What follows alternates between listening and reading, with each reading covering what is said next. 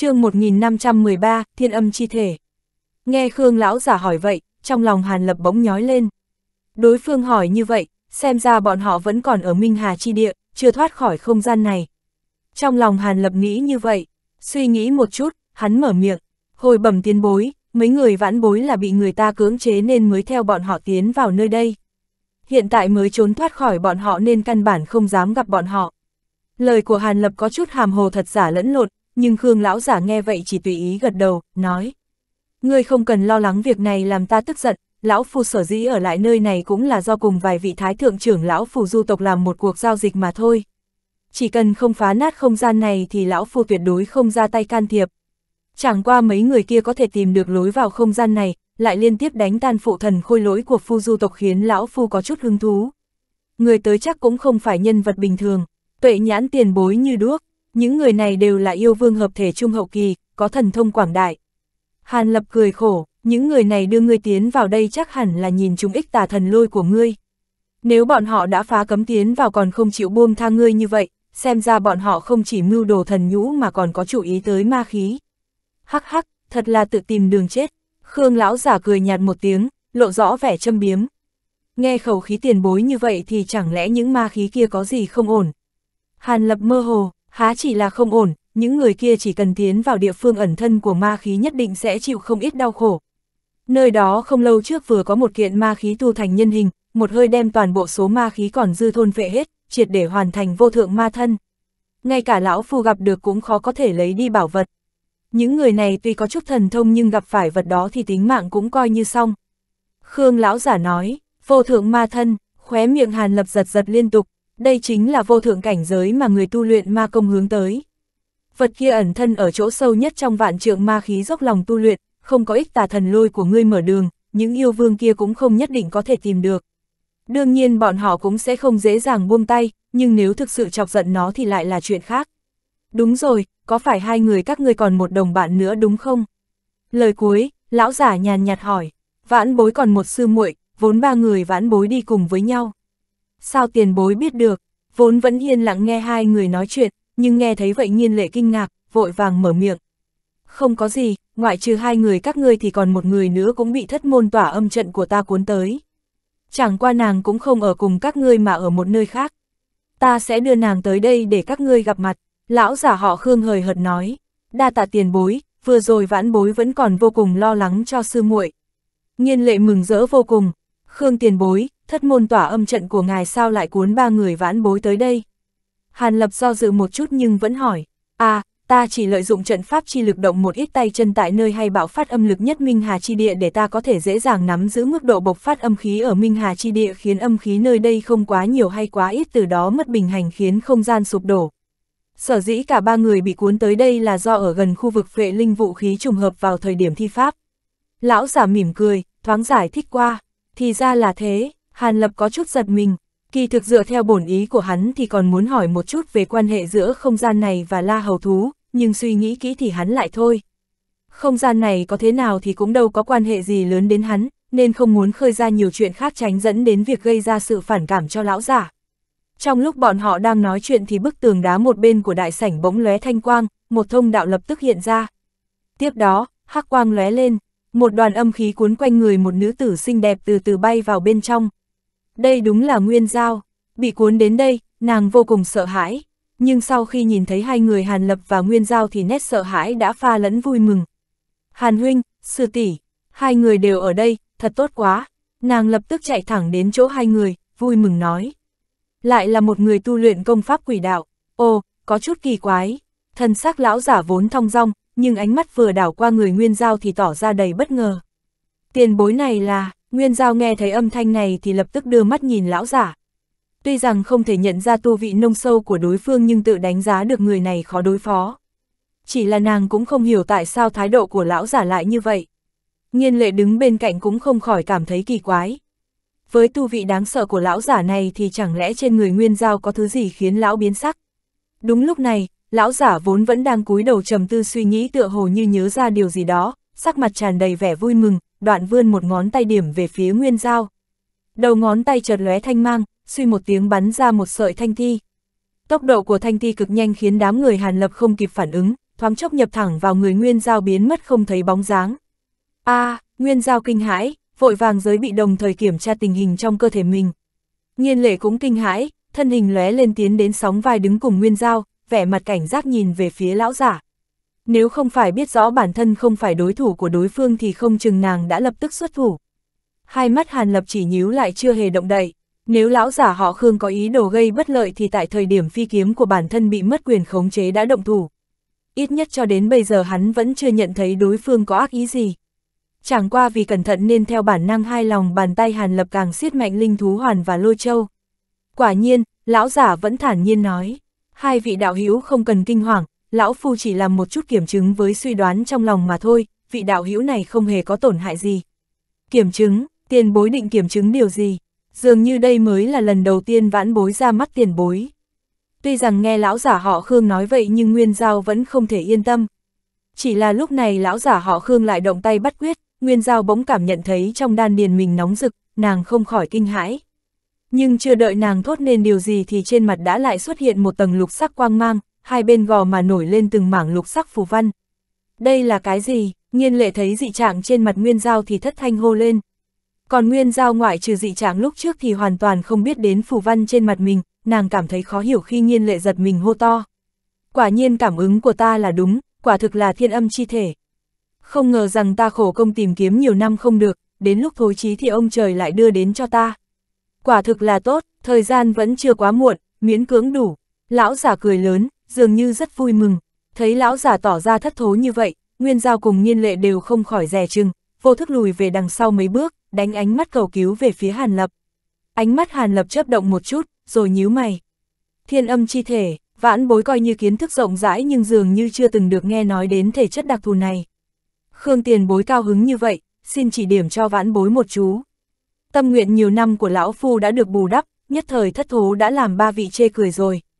Thiên âm chi thể thực ra không bắt nguồn từ nhân tộc chúng ta mà là cách nói đến một loại thể chất đặc thù của trường nguyên tộc. Các ngươi không biết cũng không có gì lạ, thể chất này đối với nhân tộc phổ thông cũng không có trợ giúp gì cho việc tu luyện, nhưng nếu muốn tu luyện một loại đại thần thông của trường nguyên tộc thì lại cần đến loại thể chất này mới được. Nhưng loại thể chất này ngay cả trong trường nguyên tộc cũng rất hy hữu, còn các tộc khác càng không cần phải nói. Ít nhất lão phu cũng tiêu phí đến cả vạn năm tìm kiếm nhưng không có kết quả. Vị đạo hữu này họ Nguyên đúng không? Không biết Nguyên đạo hữu có nguyện ý làm môn hạ lão phu. Lão giả tươi cười, quay sang hỏi Nguyên Giao.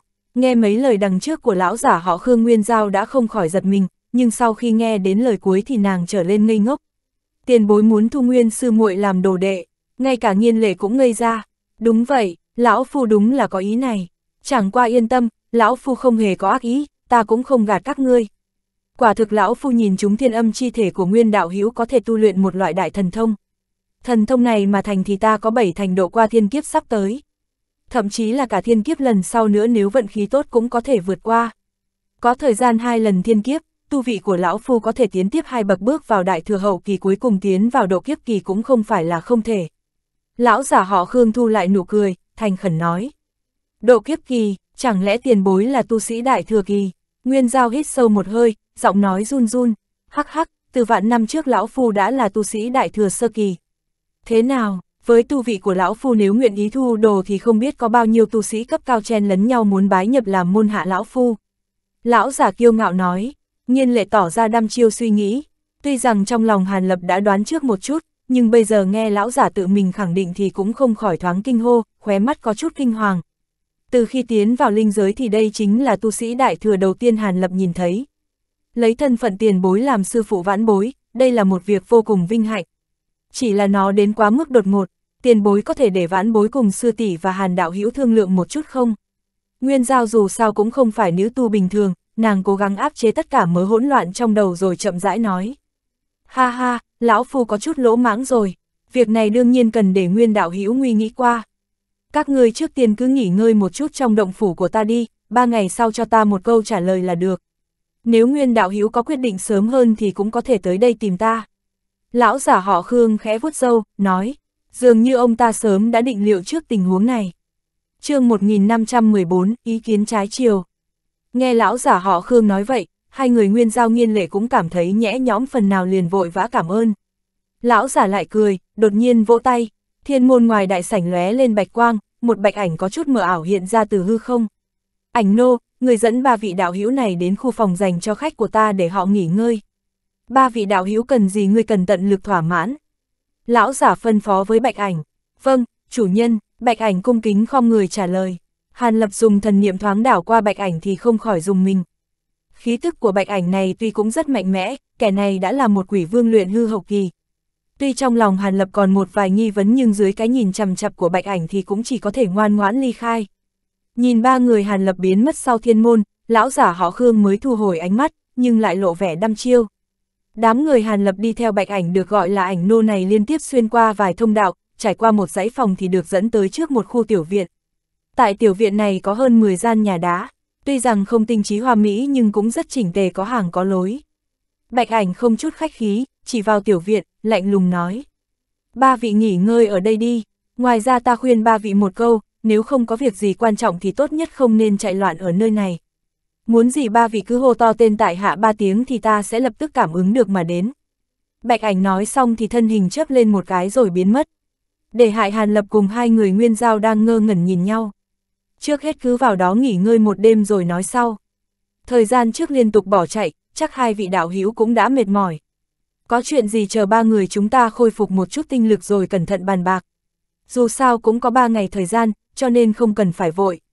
Hàn Lập thở dài, quay đầu nhìn hai người mỉm cười nói.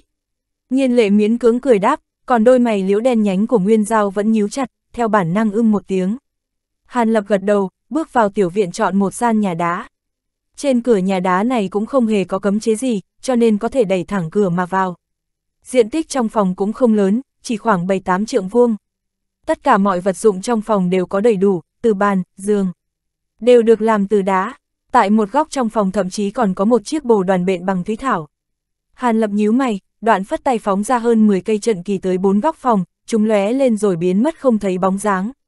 Một tầng quang mạc thanh quang minh mông hiện lên, đây chỉ là một cấm chế để phòng nhìn trộm mà thôi, mặc dù không có tác dụng phòng hộ nhưng cũng không đến mức khiến bản thân bị âm thầm theo dõi mà không biết.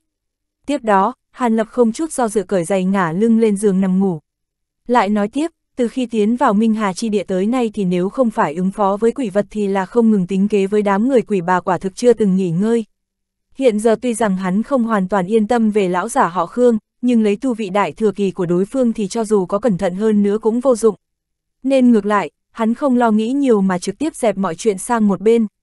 Chỉ một lát sau, trong gian nhà đá đã vang lên tiếng ngáy đều đều của Hàn Lập.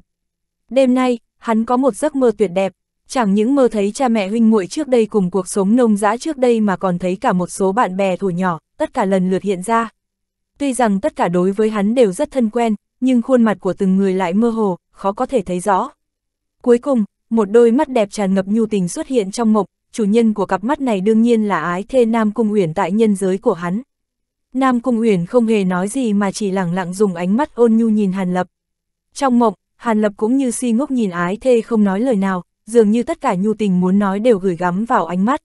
Không biết qua bao lâu, mí mắt Hàn Lập khẽ giật, tỉnh lại từ trong mộng. Trước mắt vẫn phảng phất nhìn thấy ánh mắt như làn thu thủy của Nam Cung Uyển. Hắn không lập tức rời giường mà vẫn nằm yên tại đó, tiếp tục tận hưởng tình cảm ngọt ngào còn động lại. Qua tiếp thời gian một bữa cơm, nét si ngốc trong mắt Hàn Lập mới dần tiêu tán trở lại bình thường. Không biết có phải trùng hợp hay không, đúng lúc này từ bên ngoài truyền đến thanh âm dễ nghe của nghiên lệ. Hàn huynh đã dậy chưa? Nếu đã dậy thì chúng ta thương nghị một chút. Lời của nàng đầy khách khí. Đạo hữu chờ một chút, Hàn mỗ lập tức ra ngay. Hàn lập ngồi dậy ngay lập tức, không lưỡng lự trả lời. Ta cùng sư muội tại gian nhà đá ở giữa chờ đại giá Hàn huynh. nhiên lệ cười nhẹ, giọng nói phiêu đáng. Hàn lập thùng thẳng đi lại giày, rời giường. Đoạn giơ tay phóng ra một đoàn thanh quang rồi vuốt khắp toàn thân thoáng chốc những chỗ quần áo nhăn nhúm đã được vuốt thẳng. Hàn Lập cảm thấy cả người thoải mái, tinh thần sung túc, lúc này mới đẩy cửa bước ra khỏi nhà đá. Tối hôm qua hai người nghiên lệ cùng Nguyên Giao ở một gian nhà khác trong biệt viện, không biết hai người này đã thương lượng qua điều gì chưa? Hàn Lập rảo bước tiến tới gian nhà đá ở giữa, trong lòng tự cân nhắc một chút. Tiến tới gian nhà ở giữa, nơi này so với nơi hắn ở thì lớn hơn khá nhiều. Giữa phòng có bày một bộ bàn ghế đá, hai người Nguyên Giao và Nghiên Lệ đang ngồi đó nói chuyện. Ngoài ra ở bốn góc nhà đều có một cây hắc sắc phiên kỳ phiêu động tỏa ra một tầng hôi mang mờ ảo bao phủ trọn gian nhà đá. Xem ra hai người ấy cũng đã bố trí trước một vài cấm chế tại đây. Hàn huynh, huynh tới thật đúng lúc, ta cùng sư muội đang bàn về việc của Khương Tiền Bối. Nhiên lệ vừa thấy Hàn Lập tiến vào thì mỉm cười đứng dậy. Trong mắt Nguyên Giao cũng thoáng lộ dị sắc, cũng đồng thời đứng dậy đón chào. Ồ, xem ra hai vị đạo hữu đã có thảo luận qua về việc này. Nếu tin tưởng Hàn Mỗi thì hai vị không ngại mà nói qua một chút chứ. Tuy rằng tu vị Hàn Mỗ không cao nhưng tự nhận thấy bản thân có chút cơ trí. Hàn Lập mỉm cười, sau đó hắn bước tiếp tới, cùng hai người ngồi xuống. Kỳ thực sự tình cũng rất đơn giản, lấy thân phận Khương Tiền bối thu tiểu muội làm đồ đệ quả thực là cơ duyên trời cho. Nhưng tiểu muội càng muốn trở về nhân tộc đi tìm công pháp bí thuật có thể khôi phục thân thể. Thần thông trường nguyên tộc kia cho dù có lợi hại hơn nữa cũng không thể giải trừ bán quỷ chi thân. Nhưng sư tỷ lại cho rằng đây là một cơ hội khó có nên hy vọng tiểu muội đáp ứng. Nguyên giao bất đắc dĩ mở miệng, Nguyên sư muội, khôi phục nhân thân cũng không cần quá nóng vội, trước mắt hãy đi theo Khương Tiền Bối tu luyện một thời gian chờ đến khi thần thông đại thành thì trở về nhân tộc tìm kiếm phương pháp khôi phục nhân thể cũng chưa muộn. Nghiên lệ lập tức phân tích thiệt hơn, nếu thực sự về sau có thể khôi phục nhân thân thì tiểu muội lo lắng nhiều như vậy làm gì. Sư tỷ cũng biết rõ hai người chúng ta từ khi tu luyện âm dương luân hồi quyết thì thể chất đã có xu hướng biến thành quỷ vật. Tuy hai người chúng ta đã cật lực áp chế điều này nhưng chỉ sợ không bao lâu nữa sẽ chân chính biến thành quỷ vật. Tiểu muội làm sao có thể tiếp tục trì hoãn mà tu luyện thần thông khác. Nguyên giao thở dài đầy buồn bã, việc này tất nhiên ta biết, cho nên mới nói sư muội lưu lại nơi đây bái sư học nghệ, ta trở về nhân tộc tìm công pháp bí thuật khôi phục nhân thân. Tuyệt không làm chậm chế việc của sư muội. Nhiên lệ cũng thở dài một hơi, trả lời. Sư tỷ biết rõ việc này rất khó. Ý tứ trong lời của Khương tiền bối rất rõ, hẳn sư tỷ cũng biết. Thiên kiếp của tiền bối không lâu nữa sẽ tới, cho dù tiểu muội hết lòng tu luyện thần thông của trường nguyên tộc kia thì cũng chỉ miễn cưỡng đủ dùng mà thôi, một khi trở thành môn hạ sao có thể phân tâm tu luyện thứ khác. Nguyên giao lắc đầu, chỉ cần tỉ muội chúng ta cùng ở bên nhau thì cho dù biến thành quỷ vật cũng có sao. Linh giới hung hiểm sư muội không phải không biết, cho dù hai người chúng ta khôi phục nhân thân nhưng nói không chừng một ngày nào đó sẽ bỏ mạng. Nếu như vậy, không bằng sư muội trở thành môn hạ khương tiền bối tiếp nhận che chở, sau khi thần thông đại thành thì quay lại tu luyện bí pháp khôi phục nhân thân cũng không muộn. Hơn nữa, cho dù hai ta có trở thành quỷ vật chi thân thì khẳng định sẽ có khác biệt so với quỷ vật chân chính, hẳn là còn phương pháp nghịch chuyển càn khôn. Hơn nữa thấy Khương tiền bối coi trọng ngươi như vậy nếu ngươi không đáp ứng chỉ sợ cũng khó có thể đi khỏi nơi này. Nhiên lệ tiếp tục khuyên, nếu thực sự không có phương pháp nghịch chuyển thì sao? Ánh mắt Nguyên Giao liếc nhìn Hàn Lập có chút khác thường, tiếp tục lắc đầu không đồng ý. Hàn huynh, huynh thấy việc này thế nào? Nhiên lệ bất đắc dĩ chỉ có thể chuyển hướng quay sang cầu cứu Hàn Lập. Ý của hai vị đạo hữu ta đã nghe rõ, chủ yếu là do Nguyên cô nương lo lắng sau này không thể khôi phục nhân thân cho nên lúc này không muốn bái làm môn hạ khương tiền bối, còn Nhiên đạo hữu lại cảm thấy đây là cơ duyên khó có được nên không muốn Nguyên cô nương bỏ qua. Ta nói vậy đúng chứ? Hàn Lâm trầm ngâm một chút rồi bình tĩnh phân tích, đúng vậy, kỳ thực hai người chúng ta đã nói từ tối hôm qua, nhưng không ai thuyết phục được ai. Nhiên lệ cười khổ một tiếng, tâm tình không muốn trở thành quỷ vật của nguyên cô nương, hàn mỗ tất nhiên hiểu được. Việc nhiên đạo hữu không muốn nguyên cô nương bỏ qua cơ hội khó có này tại hạ cũng hiểu. Kỳ thực hai vị đạo hữu đều không hề sai. Hàn lập mỉm cười trả lời. Hàn huynh, ta cùng sư muội tìm ngươi để thương lượng việc này chứ không phải để ngươi trêu đùa. Hai hàng lông mày nghiên lệ nhíu chặt lại, lời nói có chút bất mãn. Ha ha, đạo hữu hiểu nhầm rồi. Kỳ thực hàn mỗ muốn nói là, hai việc mà nguyên cô nương cùng ngươi vừa nêu không phải không thể đồng thời giải quyết. Hàn lập cười dài, nói, cái gì, lời của hàn huynh là thật sao? Nhiên lệ ngẩn ra, nửa tin nửa ngờ. Nguyên giao cũng có chút kinh ngạc. chương 1515, Tân Thanh Nguyên kiếm quyết. Việc này trọng đại, hàn mỗ nào dám nói dẫn cùng hai vị. Hàn lập nghiêm sắc mặt, nếu quả thật có biện pháp chọn cả đôi đường thì là tốt nhất. Hàn huynh xin nói ra cao kiến, nhiên lệ mừng rỡ nói, kỳ thật việc này hai vị đạo hữu chỉ cần đem lỗi khó xử của mình trực tiếp nói với Khương tiền bối là được. Hai vị chẳng lẽ đã quên tiền bối là tu sĩ đại thừa kỳ thâm khả bất chắc. Có một số việc đối với chúng ta là rất khó phải mất vô số năm tháng mới có thể hoàn thành, nhưng đối với một tu sĩ đại thừa mà nói thì chỉ là một thoáng nhấc tay mà thôi. Cho dù không thể lập tức nghịch chuyển hai vị từ bán quỷ chi thân về nhân thân nhưng bảo trì khiến quá trình chuyển hóa ngưng lại là khẳng định có thể. Hai vị đạo hữu sao không đi hỏi trước rồi quyết định cũng không muộn. Hàn Lập mỉm cười, nghe Hàn Lập nói vậy, Nguyên Giao cùng Nhiên Lệ đều rung động. Đa tạ Hàn huynh đề tình, hai người chúng ta như ở trong mê cục không suy nghĩ thấu đáo, không ngờ sợ tình lại đơn giản như vậy. Vẻ mặt Nhiên Lệ vô cùng hưng phấn nói, Nguyên Giao suy nghĩ một hồi cũng gật đầu, nói thật, so với việc nguyên cô nương làm môn hạ khương tiền bối thì tại hạ còn có một chuyện khác băn khoăn. Hàn lập trù trừ một chút rồi bỗng nhiên nói ra, ý của Hàn huynh là, nghiên lệ ngẩn ra, đôi mắt đẹp của Nguyên Giao cũng ngóng nhìn Hàn lập, không chấp lấy một cái.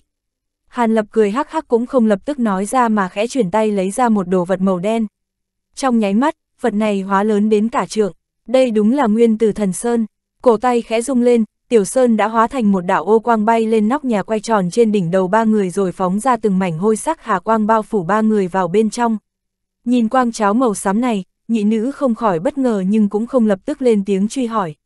Lúc này Hàn Lập mới bình tĩnh nói, đây là nguyên từ thần quang mà ta tu luyện, cho dù không đáng nhắc tới trước mặt tu sĩ đại thừa nhưng để phát hiện có thần niệm theo dõi hay không thì vẫn có khả năng. Mấy lời kế tiếp muốn nói với hai vị đạo hữu có chút bất kính với Khương tiền bối. Hàn mỗ muốn làm tiểu nhân trước quân tử sau, nhắc nhở hai vị một chút. Nhiên đạo hữu một lòng muốn nguyên cô nương bái nhập làm môn hạ Khương tiền bối nhưng đã từng nghĩ tới vạn nhất nếu không phải tiền bối muốn nhờ nguyên cô nương trợ lực độ kiếp mà là có mục đích khác, hoặc là phương pháp độ lôi kiếp chính là nguyên cô nương. Như vậy thì việc nguyên cô nương bị tổn hại, hoặc nguy hiểm về tính mạng rất dễ xảy ra. Các người đã nghĩ tới chưa? Nhị nữ liếc mắt nhìn nhau, cũng không lộ vẻ giật mình. Ngược lại, nghiên lệ gượng cười nói, lời này của Hàn Huynh có chút quá rồi, lấy thân phận tu sĩ đại thừa của Khương Tiền Bối thì sao có thể lừa gạt chúng ta. Hàn Lập nghe vậy thì đuôi lông mày khẽ động, nhìn hai người một lát mới khẽ gật đầu cười. Xem ra là tại Hàn Mỗ đã quá lo lắng, hai vị đạo hữu nếu không lo lắng đến vấn đề này thì tại hạ cũng không muốn nói nhiều. Chỉ là cuối cùng xin nhắc nguyên cô nương một câu, Khương Tiền Bối đã dùng ngữ khí thương lượng để mong nhận ngươi làm môn hạ thì khẳng định cũng có băn khoăn riêng của mình. Chỉ sợ do không tiện vận dụng thủ đoạn cứng rắn, nguyên đạo hữu chỉ cần giữ chừng mực thì cho dù gặp phải phiền toái cũng sẽ tự giữ hóa lành. Đa tạ cát ngôn của Hàn Huynh, Nguyên Giao cười khổ, lên tiếng cảm ơn, khóe miệng Hàn lập khẽ nhếch, đoạn vung tay lên không trung. Nguyên tử thần sơn vốn quay tròn phía trên bỗng biến mất, hôi sắc quang cháo bao phủ bốn phía cũng lập tức tan rã. Tiếp theo, Hàn Lập cùng nhị nữ lại trao đổi qua một số sự tình khác. Cũng có một số suy đoán, phân tích vì sao Khương lão giả lại ở nơi đây. Tiếp đó, Nguyên Giao cũng không kiềm chế được mà muốn lập tức đi gặp lão giả hỏi xem có phương pháp xử lý chuyện bán quỷ chi thân của nàng không. Hàn Lập cùng nhiên lệ tất nhiên sẽ không ngăn cản, cả ba cùng đi ra khỏi nhà đá. Nguyên Giao hô to ba tiếng, bạch ảnh lập tức xuất hiện, sự xuất hiện của hắn nhanh đến lỗi có cảm tưởng như hắn chưa từng rời đi khỏi nơi đây. Nghe ba người nói muốn đi gặp lão giả họ Khương thì quỷ vật gật đầu, xoay người dẫn ba người rời đi. Một lát sau, ba người đã trở lại đại sảnh hôm trước gặp gỡ lão giả. Lão giả họ Khương vẫn ngồi trên ghế, vừa thấy ba người bước vào thì không hề tỏ ra kỳ quái, hỏi. Thế nào, nguyên cô nương đã nghĩ thông, nguyện ý bái nhập làm môn hạ Khương mẫu chứ? Được lọt vào mắt xanh của tiền bối, vãn bối cảm kích vô cùng tất nhiên là nguyện ý ở lại tu luyện bên cạnh tiền bối. Nhưng vãn bối có một việc khó xử chỉ sợ khó có thể lập tức bái nhập làm môn hạ tiền bối. Nguyên giao trước hết vén áo thi lễ, rồi lại đưa ra lý do thoái thác khi trước của mình, cẩn thận nói ra. Việc khó xử, ha ha, có sự tình gì không ngại nói thử với lão phu xem. Lão giả họ khương thấy Nguyên Giao nguyện ý bái sư thì hai mắt sáng lên, rất tự tin bảo nàng cứ nói chuyện của mình. Nguyên Giao cũng không dám trần chứ, chậm chậm nói hết ước nguyện muốn khôi phục nhân thân của mình ra. Ha ha, ta tưởng sự tình gì, hóa ra là việc một lần nữa trở về thân thể con người. Việc nhỏ, chỉ cần ta khai lô luyện chế vài loại đan dược, lại tiêu phí một chút pháp lực giúp người khu trừ âm lực trong cơ thể là có thể khôi phục nhân thân. Tất cả chỉ mất mấy năm mà thôi, căn bản sẽ không ảnh hưởng đến việc ngươi tu luyện thần thông trường nguyên tộc. Lão giả họ Khương nghe vậy thì cười ha hả, theo lời ông ta thì việc này chỉ là một việc nhỏ không đáng kể. Nếu được như vậy thì vãn bối xin nguyện ý bái tiền bối làm thầy. Giao nhi bái kiến sư phụ, Nguyên Giao quá đỗi vui mừng, lập tức quyết đoán hành đại lễ với lão giả. Tốt, tốt, đồ nhi an tâm, mấy năm tới lão phu sẽ giúp ngươi khôi phục nhân thân, lúc đó mới để ngươi tu luyện thần thông của trường nguyên tộc. Lão giả cũng cao hứng, lập tức phất tay áo, một cỗ lực lượng vô hình cuốn quanh thân thể Nguyên Giao đỡ nàng đứng lên.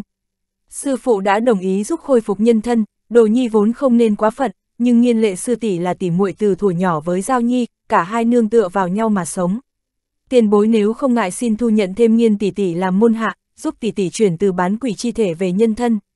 Nguyên Giao vừa đứng dậy, bỗng hai mắt đỏ lên hướng về phía lão giả cầu xin.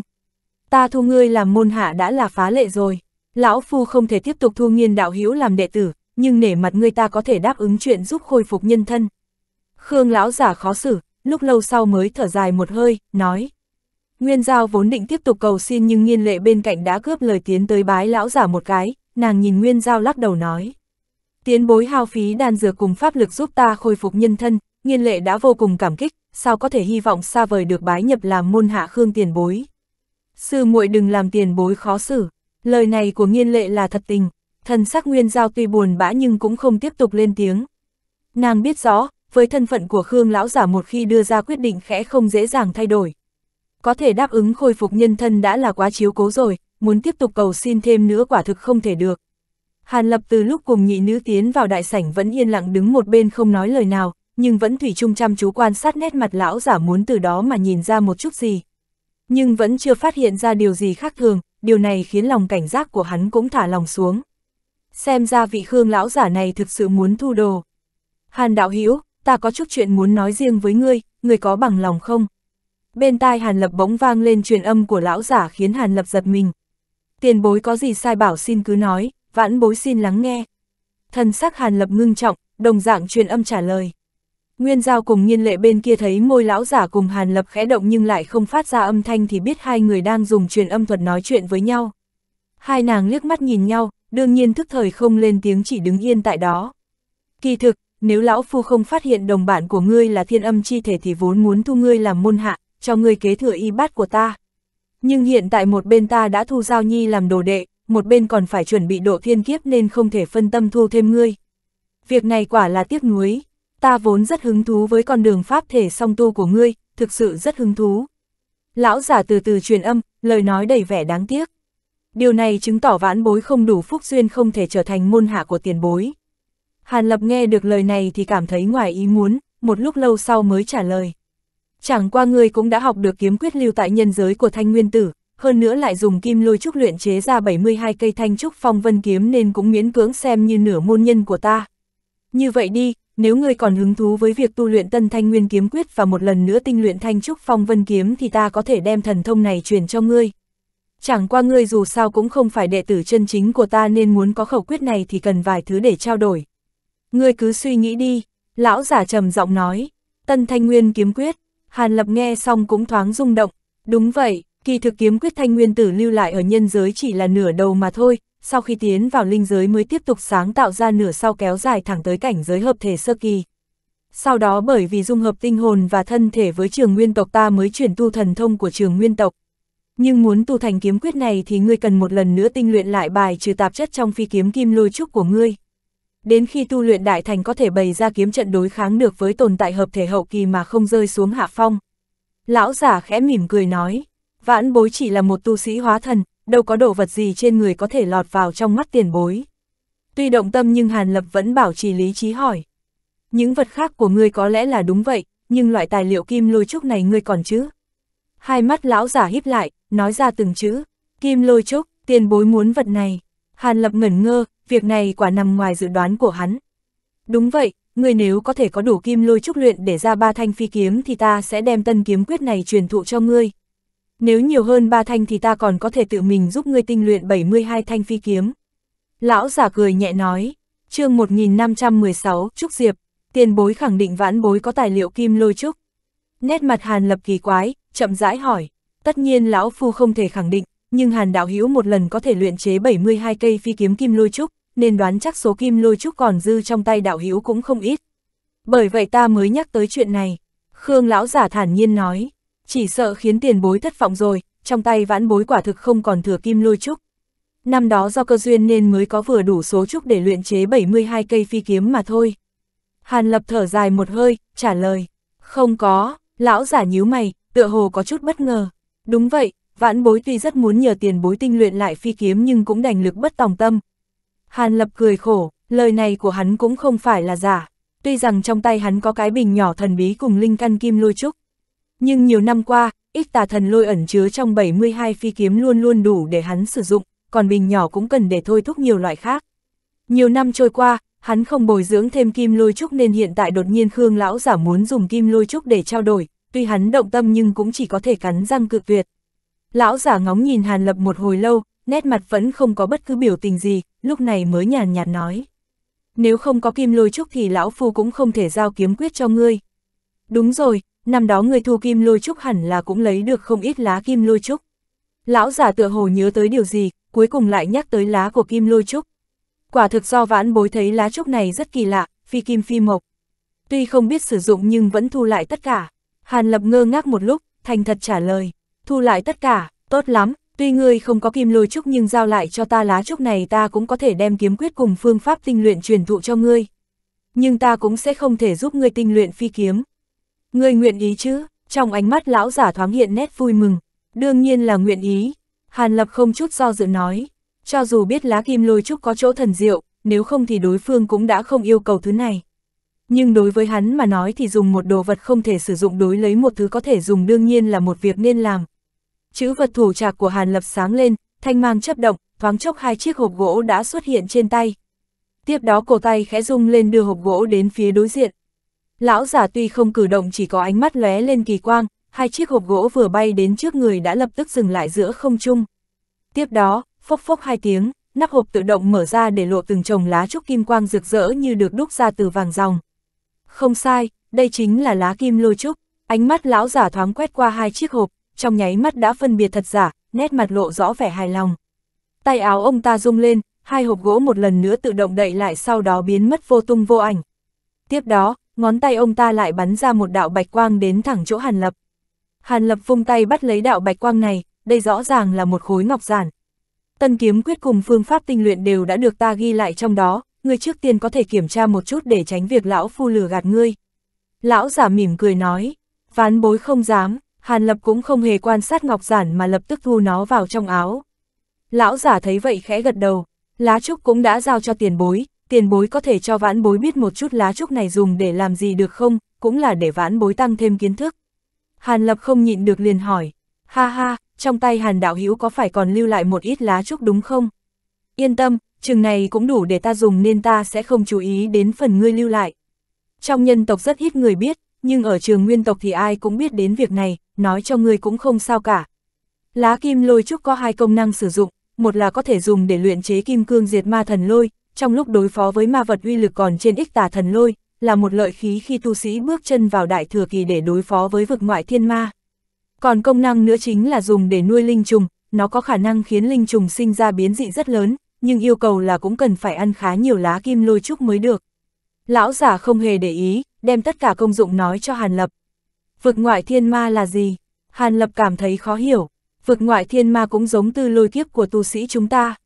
Lôi kiếp của tu sĩ trên linh giới trên cơ bản thường cách một đoàn thời gian sẽ diễn ra không thay đổi. Hơn nữa vực ngoại thiên ma là một loại ma đầu công kích sau khi tu sĩ tiến vào đại thừa kỳ.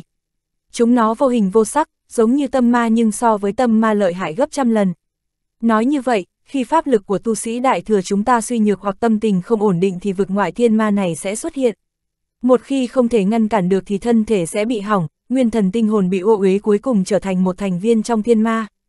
Ta muốn dùng một ít lá kim lôi trúc để luyện chế kim cương diệt ma thần lôi để phòng khi độ kiếp bị thiên ma quấy rối. Lão giả do hôm nay đạt thành hai tâm nguyện tâm tình rất tốt, nên mới nói nhiều như vậy. Trên mặt Hàn Lập dường như nghĩ tới điều gì đó, đặc biệt là lúc nghe thấy lá kim lôi trúc có thể khiến linh trùng biến dị thì trong lòng thoáng động. Đúng rồi, Hàn đạo hữu định ở tại chỗ này bao lâu? Lão giả bỗng đình chỉ truyền âm, dùng lời bình thường hỏi. Nơi đây âm khí quá nặng không thích hợp để vãn bối tu hành lâu dài, hơn nữa bên ngoài cũng có một số sự tình cần xử lý nên không thể ở chỗ này lâu. Hàn Lập trần chờ một chút rồi trả lời. Vừa nghe Hàn Lập nói vậy, sắc mặt nguyên giao trắng nhợt nhưng nháy mắt liền khôi phục lại như thường. Ngoại trừ nghiên lệ đứng ngay bên cạnh thì những người khác đều không chú ý đến biến hóa nhỏ trên mặt nàng. Ánh mắt nghiên lệ khẽ động, khóe miệng hơi nhếch thoáng để lộ nét mặt kỳ quái nhưng cũng lập tức che giấu đi. Ồ, nói như vậy thì ngươi đã tìm được phương pháp rời khỏi không gian này. Khương lão giả nhìn Hàn Lập, nét mặt đầy thưởng thức. Vãn bối còn chưa tìm được, Hàn Lập sờ mũi, xấu hổ nói. Ha ha, vậy ngươi cũng không cần tìm, để đưa người tiến vào không gian này có lẽ lão phu không làm được nhưng để đưa người rời đi thì lại có biện pháp, nếu không lão phu sao có thể yên tâm sống trong thánh địa phù du tộc này được. Mấy ngày nữa lão phu sẽ tự mình thi pháp đưa ngươi rời đi. Lão giả hắc hắc cười nói, đa tạ tiền bối, Hàn Lập không khỏi vui mừng, lập tức mở lời cảm ơn. Nhưng ngươi nên nhớ kỹ, lão phu không hề làm chuyện không công mà do còn muốn cùng ngươi làm tiếp một số giao dịch khác. Nét mặt vui mừng của Hàn Lập chưa hết thì lão giả đã tiếp tục truyền âm tới. Tiếp tục giao dịch, Hàn Lập ngẩn ngơ, đạo hữu có hứng thú với Minh Hà thần nhũ không? Thanh âm của lão giả trở nên ngưng trọng, tiền bối định lấy thần nhũ ra để giao dịch. Hàn Lập giật mình kinh hãi. Lão phu ở Minh Hà chi địa thời gian dài như vậy, nếu ngay cả một chút thần nhũ cũng không lấy được thì chẳng phải là một việc đáng chê cười sao. Lão giả cười nhạt một tiếng, bộ dạng tỏ ra đây là một việc đương nhiên.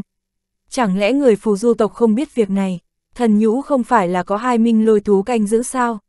Hàn lập nghi hoặc hỏi, hai con minh lôi thú đó có thể ngăn cản lão phu sao? Ta tất nhiên là có thủ đoạn tránh khỏi tai mắt chúng mà lấy di thần nhũ. Hơn nữa mỗi một lần lão phu lấy đi cũng không nhiều nên ngay cả bọn họ có biết cũng không dám tìm lão phu lý luận. Khương lão giả ngạo nghễ nói, thần nhũ đương nhiên là vãn bối muốn, nhưng quả thực trên người không còn thứ gì đáng giá trong mắt tiền bối.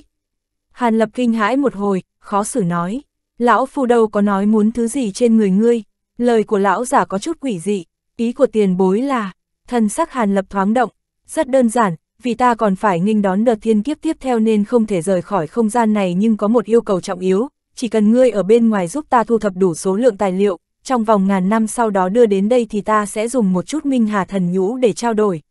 Hàn đạo hữu cảm thấy giao dịch này thế nào?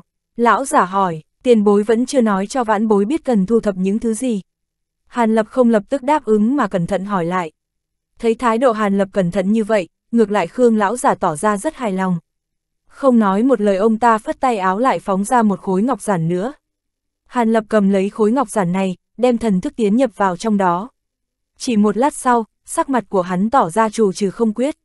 Qua một lúc nữa, Hàn Lập mới rút thần niệm khỏi ngọc giản, cúi đầu trầm ngâm một lúc rồi ngẩng đầu nhìn lão giả gượng cười. Tiền bối, tuy rằng những thứ người nêu trong ngọc giản không nhiều nhưng vãn bối cũng mới nghe qua một phần mười trong số đó mà thôi. Những thứ này chắc chắn là vô cùng quý hiếm, nếu không có cơ duyên thì ngay cả nhìn thấy cũng khó. Tiền bối cũng quá đề cao vãn bối rồi. Hàn đạo hữu thấy Minh Hà thần nhũ là thứ phổ thông sao. Đây là thứ mà ngay cả tu sĩ hợp thể cũng mong muốn, không tiếc mạo hiểm tính mạng để lấy được. Huống hồ ta cũng không bảo ngươi cần nhất định thu đủ số lượng trong danh sách. Chỉ cần ngươi tìm cho ta 2 phần 3 rồi trở về đây thì ta cũng sẽ dùng thần nhũ trao đổi. Lão giả thong dong nói, 2 phần 3, nếu như vậy thì cũng không phải không có hy vọng làm được. Hàn Lập cân nhắc thêm một lát rồi nói, nói như vậy, Hàn Đạo Hữu đã đáp ứng giao dịch này phải không? Nếu vậy thì việc ta đưa ngươi rời khỏi Minh Hà Chi Địa coi như là đặt cọc trước. Vãn bối có thể không đáp ứng sao? Hàn Lập vuốt mũi, cười khổ nói, hai ngày sau, ta sẽ đưa đạo hữu rời khỏi Minh Hà chi địa. Hai mắt lão giả híp lại, cười lớn, chương 1517, ly khai. Hai ngày nhanh chóng trôi qua, tại trên một đỉnh núi vô danh của Bạch Sắc Sơn Mạch có bố trí một pháp trận cực lớn to hơn trăm trượng. Bên cạnh pháp trận này do tám tòa cao thai tổ thành, mỗi một tòa đều cắm một cây phiên kỳ cực lớn, phù văn kim ngân sắc không ngừng chớp động. Ở phía trung tâm pháp trận, Hàn Lập đang đứng yên trong đó. Bên ngoài có vài người đang đứng, đúng là Khương Lão Giả và hai người nguyên giao nghiên lệ. Trên không trung vũ khí minh mông, giữa không trung, một đạo bạch ngân thật lớn hơn trăm trượng di động như ẩn như hiện. Hàn đạo hữu ta tuy rằng mượn khe hở không gian ở Minh Hà chi địa dùng truyền tống trận đem ngươi ra ngoài nhưng ngươi truyền tống tới nơi nào ở ngoại giới thì ta không cách nào cam đoan. Chỉ là ngươi yên tâm, tuyệt đối sẽ không đem ngươi truyền tống tới đại lục khác, hơn phân nửa sẽ ở phụ cận khu vực phi linh tộc. Một lúc sau, lão giả cúi đầu nói với Hàn Lập.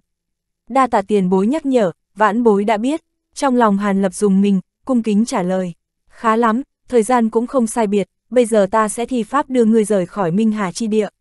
Đúng rồi, vật này cất kỹ. Đến khi ngươi thu thập đủ muốn tiến vào nơi đây thì cứ theo phương pháp ở đó tiến nhập Minh Hà chi địa. Thứ này ta chỉ có một khối thôi, hơn nữa lại là tiêu hao phẩm. Lão giả vung tay lấy ra hai đồ vật, Hàn Lập vội đưa tay nhận lấy, ngưng thần nhìn lại rồi lên tiếng. Nghịch tinh bàn, tiền bối lại có vật này. Trong tay hắn là một viên cầu tỏa ra bạch quang cùng một khối lam sắc ngọc giản. Ồ, người cũng biết đến vật này, quả là bất ngờ. Chẳng qua đây cũng không phải nghịch tinh bản chân chính mà chỉ là một kiện phỏng chế phẩm mà thôi. Nhưng tài liệu luyện chế cực kỳ khó tìm, ta ban đầu chế được mấy khối nhưng hơn phân nửa đã dùng hết. Hiện tại chỉ còn một kiện này, trong ngọc giản có ghi lại phương pháp để ngươi tiến vào Minh Hà chi địa, về sau ngươi xem kỹ là được. Ngoài ra, hai con phệ kim trùng ngày đó ngươi đem dò đường cũng thu lại đi. Trên mặt lão giả thoáng lộ vẻ ngạc nhiên nhưng chỉ nhàn nhạt nói vài câu rồi khẽ vung tay áo. Nhất thời một bảo vật thanh sắc từ trong tay áo bay ra, đây là một bảo tháp bằng gỗ toàn thân phủ một màu thúy lục. Bảo vật này quay tròn một vòng, nhất thời hai đóa kim hoa từ trong đáy tháp phóng ra. Đây đúng là hai con vệ kim trùng bị lão giả thu lấy lúc trước. Hàn Lập thấy vậy thì cũng vui vẻ vẫy tay, tức thì hai con vệ kim trùng dương cánh bay trở về. Hàn đạo Hiếu, không ngờ ngươi lại có thể đào tạo ra phệ kim trùng thành thục thể, quả là thiên đại cơ duyên.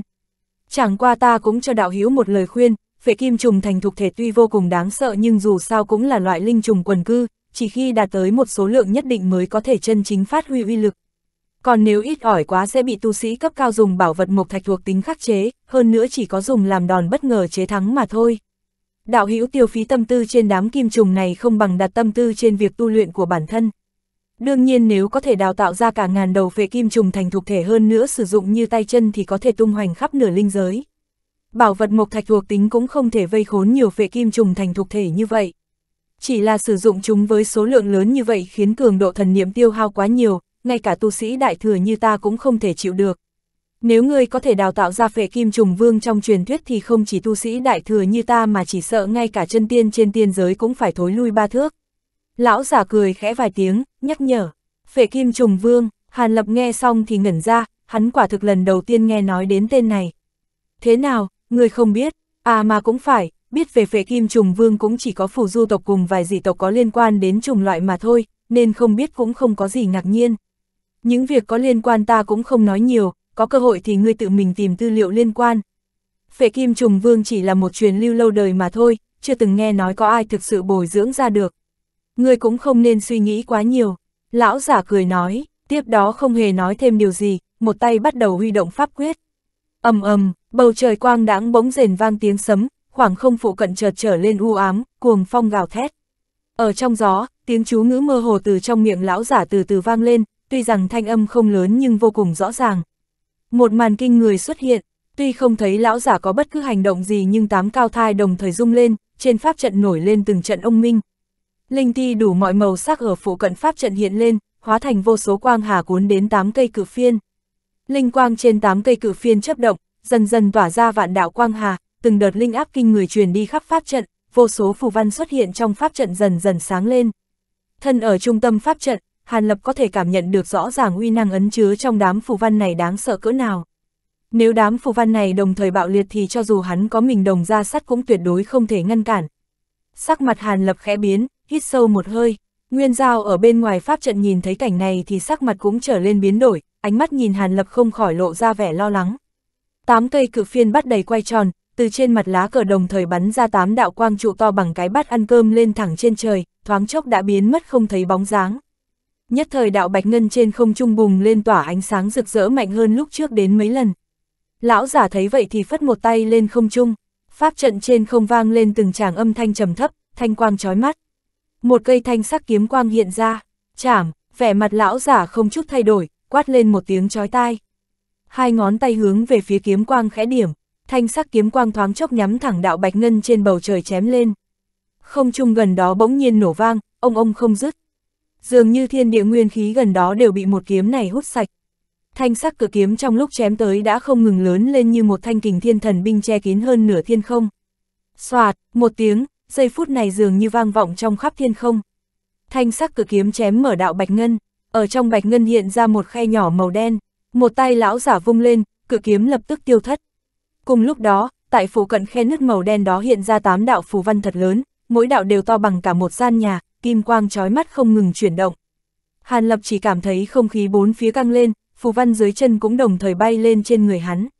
Trong lòng đang kinh hãi, phù văn lại lập tức biến thành hà quang đủ mọi màu sắc vây kín Hàn Lập rồi bắt đầu xoay chuyển. Hàn Lập cảm thấy trời đất bốn phía như đang xoay chuyển. Sau một tiếng rít quái dị, một đạo ngũ sắc quang trụ từ trung tâm pháp trận phóng lên lao thẳng vào vết nứt màu đen biến mất không thấy bóng dáng. Cùng thời gian đó, quang mang trên pháp trận cũng chưa tắt, đình chỉ vận hành. Trong pháp trận trống rỗng, không hề thấy bóng dáng Hàn Lập. Sư phụ, Hàn Huynh đã ra ngoài rồi sao? Nguyên Giao tuy quan sát hết thảy nhưng lúc này cũng không tiếp tục che giấu sự quan tâm của mình, trực tiếp hỏi lão giả. Giao Nhi không cần lo lắng, thi pháp đã thành công. Hiện tại hẳn là hắn đã về tới linh giới.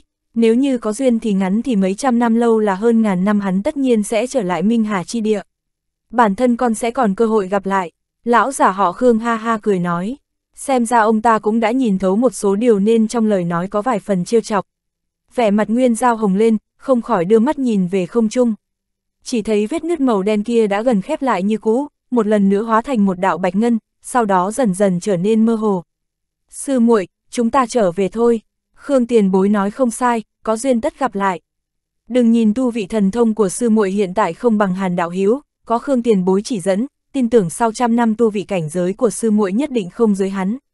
Nghiên lệ bước tới khẽ đặt tay lên vai Nguyên Giao, mỉm cười nói. Hắc hắc, nhà đầu kia nói không sai, cho dù hàn tiểu tử không đơn giản chút nào nhưng lão phu tự mình ra tay trợ giúp Giao Nhi thì việc tiến vào luyện hư kỳ là nắm chắc. Ngay cả việc giúp ngươi tiến vào cảnh giới hợp thể lão phu cũng có bốn thành nắm chắc. Khương lão giả tỏ ra vô cùng tự tin nói, để đền đáp đại ân của sư phụ, Giao Nhi sẽ tận tâm tu luyện. Nguyên Giao dù sao cũng không phải nữ tử yếu mềm, nghe vậy liền điều chỉnh tâm tình, quay về phía lão giả thi lễ. Ngay tại lúc Hàn Lập được lão giả họ Khương phá toái hư không đưa ra khỏi Minh Hà chi địa thì cách hồi bạch sắc sơn mạch không biết bao nhiêu ngàn dặm, tại một phiến hoang nguyên minh mông, lục túc, mỹ phụ đầu bạc, huyết bào nhân cùng với tử huyết khôi lỗi đang khổ sở chống đỡ một phiến trùng hải. Vô luận là trên không hay dưới đất đều có một loại quái trùng giống như con rết nhưng trên lưng lại có một đôi cánh, phần đuôi có một cái móc câu bọn chúng che kín đất trời vây công đám yêu vương này. Quái trùng này lớn độ 3-4 thước, vô cùng dỡ tợn, hung hãn không sợ chết. Lúc này lục túc cũng đã hóa thân thành một hắc sắc cự trùng, trên người bắn ra vô số đạo hắc sắc tiêm mang xuyên thủng thân thể đám quái trùng xông tới. Tử huyết khôi lỗi dưới sự thôi động của huyết bào nhân cũng nhanh chóng biến lớn đến nghìn lần, trên người kim hồ lượn lờ, sáu mắt không ngừng phóng ra huyết sắc quang trụ. Mỹ phụ đầu bạc cũng đã mặc vào hắc sắc chiến giáp, không ngừng thôi động quái trùy trên đỉnh đầu, hơn nữa toàn thân Mỹ phụ cũng được bao phủ trong một biển lửa lục sắc ngăn cản đám quái trùng ở bên ngoài. Đám người lục túc tuy đang chiếm thượng phong nhưng vẻ mặt cả ba lại âu sầu vô cùng. Bởi vì vô luận bọn họ tiêu diệt nhiều ít bao nhiêu thì quái trùng bốn phía vẫn không ngừng lao tới, dường như vô cùng vô tận. Ở cách chiến đoàn hơn 10 dặm, có một con quái trùng thân thể giống bọ ngựa nhưng mang một bộ mặt người đang đứng giữa hư không, hai mắt nó lạnh như băng nhìn tới chiến đoàn chỗ đám người lục túc, vẻ âm hàn trong mắt không ngừng chấp động. Mà tại phía trên con quái trùng này lại là một vật thể hình quạt rộng đến trăm trượng đang lơ lửng phía trên, ngân quang trói lọi, vô số quái trùng từ đó tuôn ra liên tục lao tới đám người lục túc phía kia. chương 1518, vụ trung. Không xong, đây là thánh xào của phù du tộc chúng ta, không thể giết hết được. Một gã kim phù sao có thể có vật này, cần lập tức phá vây. Từ trong miệng cự trùng do lục túc hóa thành phát ra tiếng giống to kinh nộ. Trong khoảnh khắc này, lại có đến hàng trăm quái trùng bị hắc mang xuyên thủng người mà chết. Trốn về hướng nào, đám quái trùng đó tốc độ không hề chậm hơn chúng ta bao nhiêu, nếu tiếp tục bị chúng cuốn lấy thì chẳng phải chúng ta sớm muộn sẽ hao hết pháp lực hay sao? Huyết bào nhân đứng trên đầu vai tử huyết khôi lỗi ngưng trọng nói. Trực tiếp quay trở lại lối vào thông đạo, chúng ta chỉ cần kiên trì đến đó là có thể trở về Minh Hà Chi Địa, tránh khỏi trùng hải do thánh xảo biến thành. Lục túc không chút do dự trả lời. Lục túc đạo hiếu, người điên rồi. Cho dù chúng ta toàn lực bỏ chạy theo lối đường cũ thì ước chừng tốn mất 2-3 tháng thời gian, chẳng lẽ cứ như vậy tiếp tục chém giết cùng đám quái trùng này hay sao? Huống hồ, còn ma phần nữa, chúng ta vẫn chưa lấy được ma khí. Mỹ phụ đầu bạc rít lên chói tai. Hừ, làm đạo hiếu, nếu ngay cả tính mạng còn không giữ được thì ma khí có hữu dụng gì? Cùng lắm sau khi trở về ta vẫn xuất ra một ít bảo vật để bồi thường cho ngươi và địa huyết đạo hiếu. Hiện tại thánh xào chỉ hóa ra thánh trùng cấp thấp nhất mà thôi, chúng ta còn miễn cưỡng có thể thoát khỏi trùng hải. Đợi đến khi nó tiếp tục hóa ra thánh trùng cấp cao thì chúng ta muốn chạy cũng không kịp. Lục túc tức giận nói lớn, nếu không phải trong tình hình trước mắt cần ba người hợp lực mới thoát được thì chỉ sợ hắn đã sớm mang Minh Hà thần nhũ một mình bỏ chạy. Dù sao không một ai hiểu rõ sự lợi hại của thánh xào một đại sát khí có thể diệt tộc. Chẳng qua lục túc không thể biết được thứ hắn gặp không phải thánh xào chân chính mà chỉ là một vật phỏng chế mà thôi. Chỉ là uy năng của nó cũng không phải nhóm người lục túc có thể ngạnh kháng, hơn nữa do tâm lý sợ hãi thánh xào sẵn có nên vừa tiếp xúc hắn đã muốn rời khỏi Minh Hà chi địa. Nghe lời này của lục túc, Mỹ phụ đầu bạc không cam lòng nhưng cũng không thể nói gì. Về phần huyết bào nhân cũng không có bất cứ dị nghị gì, hiển nhiên cũng đồng ý với lời này của lục túc. Vì thế ba người đồng thời thi triển thần thông, lục túc biến hành cự trùng, thân hình vốn trơn nhẵn đột nhiên đại phóng hắc quang, vô số gai xương dài hơn một trượng mọc ra. Tất cả tối đen như mực, sắc bén dị thường, thân hình cự trùng bỗng co lại, nó tiếp tục há mồm phun ra một quầng hắc sắc quang hoàn mắt thường cũng có thể nhìn thấy. Quang hoàn này vừa ra khỏi miệng đã lập tức hóa lớn lên vô số lần, cuồng bạo lao trực tiếp vào đàn quái trùng, lướt nhẹ trên người chúng. Một màn kinh người xuất hiện, tất cả những nơi quang hoàn đi qua, quái trùng ở đó nháy mắt mất đi khả năng khống chế, từ không trung rơi thẳng xuống đất. phía trước mặt lập tức mở ra một khu đất trống lớn. Tử huyết khôi lỗi to như một tòa núi lớn há miệng phun ra một đoàn tử hồng quang trụ chói mắt về phía đàn trùng. Nơi quang trụ đi qua, tất cả thân thể quái trùng đều lập tức tan biến thành cho bụi. Tử huyết khôi lối quét ngang một cái, quang trụ cũng nhoáng lên, nhất thời lại có vô số quái trùng biến mất. Đòn tấn công trong nháy mắt nhưng phạm vi tựa hồ còn rộng hơn so với công kích của lục túc rất nhiều. Cuối cùng đến lượt Mỹ phụ đầu bạc ra tay, bà ta thấy hai người bên cạnh cũng không bảo lưu thủ đoạn nên không chút do dự ném quái trùy trong tay về phía đàn trùng, hai tay liên tục khắp quyết. Nhất thời quái trùy trong lục diễm trùng trùng bỗng nhiên nổ tung, tám đầu bạch cốt khô lâu hiện lên quay tròn trên không hóa thành một bánh xe cực lớn, sau đó chúng lại há to miệng. Lần này khô lâu không chỉ còn phun ra lục sắc quỷ diễm mà là một cỗ quái phong lạnh thấu xương, những nơi quái phong này đi qua thì quái trùng nơi đó đều nháy mắt hóa thành từng bông tuyết trắng lớn nhỏ không đều, tiếp theo không một tiếng động từ không trung rơi xuống như mưa. Dưới sự liên thủ ra tay của ba tu sĩ hợp thể, ngay cả quái trùng bốn phía có vô cùng vô tận nhưng thế công cũng không khỏi bị chậm đi một chút. Ở phụ cận lập tức xuất hiện một khu vực trống cực lớn. Con bọ ngựa mặt người ở hơn 10 dặm bên ngoài thấy vậy thì khẽ hừ lạnh một tiếng, một cánh tay như liêm đao của nó khẽ điểm về ngân sắc vật thể trên hư không. Vật thể hình quạt kia lập tức quay tròn, quái trùng từ bên trong chen trúc lao ra lại nhiều hơn phân nửa. Nhưng trong lúc này, ba người lục túc đang vò thẳng vào khoảng trống vừa tạo ra, pháp lực cả ba liên kết thành một thể, đột nhiên hóa thành một quang đoàn cực lớn bắn đi. Chỉ sau vài lần chớp lên đã vò tới mép ngoài trùng hải. Sau đó quang đoàn lại giải thể hóa thành ba đạo kinh hồng cực nhanh thoát khỏi trùng hải phóng về phía chân trời nhanh chóng đáo tẩu.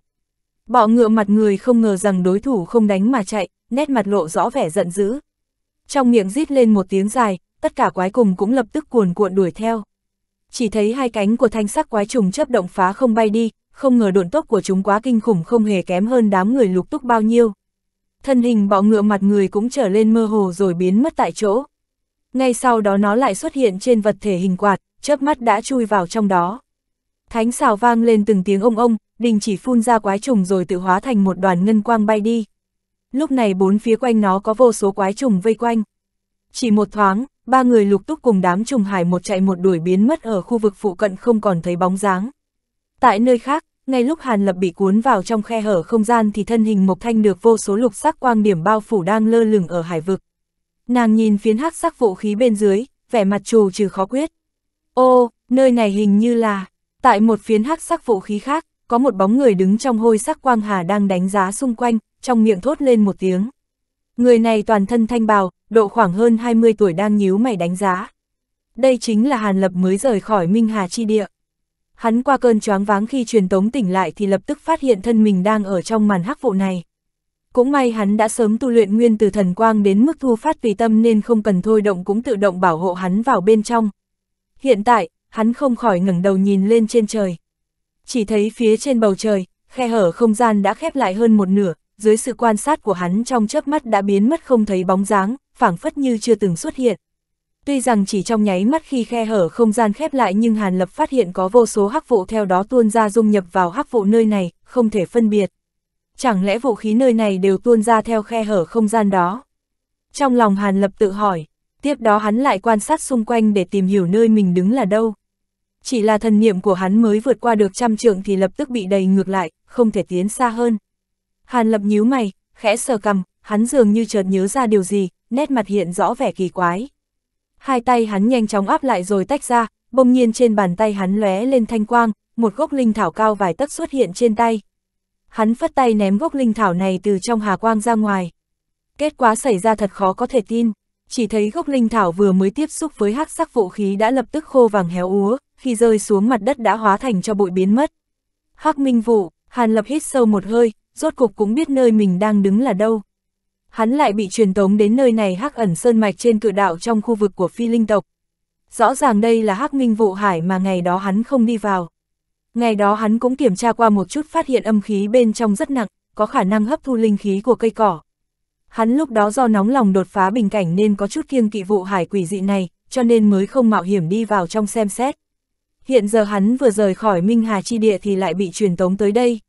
Liên hệ với hắc khí tuôn ra từ khe hở không gian mà nói thì vụ hải nơi này hình thành hẳn là có liên quan đến Minh Hà chi địa. Chẳng qua cho dù âm khí ở Minh Hà chi địa cũng không đáng sợ như hắc vụ nơi đây. Trong hắc vụ này khẳng định còn có điều gì đó cổ quái. Ánh mắt Hàn Lập chấp động, trong nháy mắt đưa ra phán đoán của mình. Cho dù thế nào đi nữa thì đây cũng không phải nơi tốt lành, hắn cần nhanh chóng rời khỏi nơi này. Trong lòng nghĩ vậy, thanh quang trên người Hàn Lập chợt léo, lập tức đằng không bay lên. Kết quả, hai chân hắn vừa mới rời mặt đất được hơn một trượng thì vũ khí xung quanh liền ập đến khiến độn quang trên người Hàn Lập tản đi, cả người hắn mất trọng tâm rơi thẳng xuống dưới.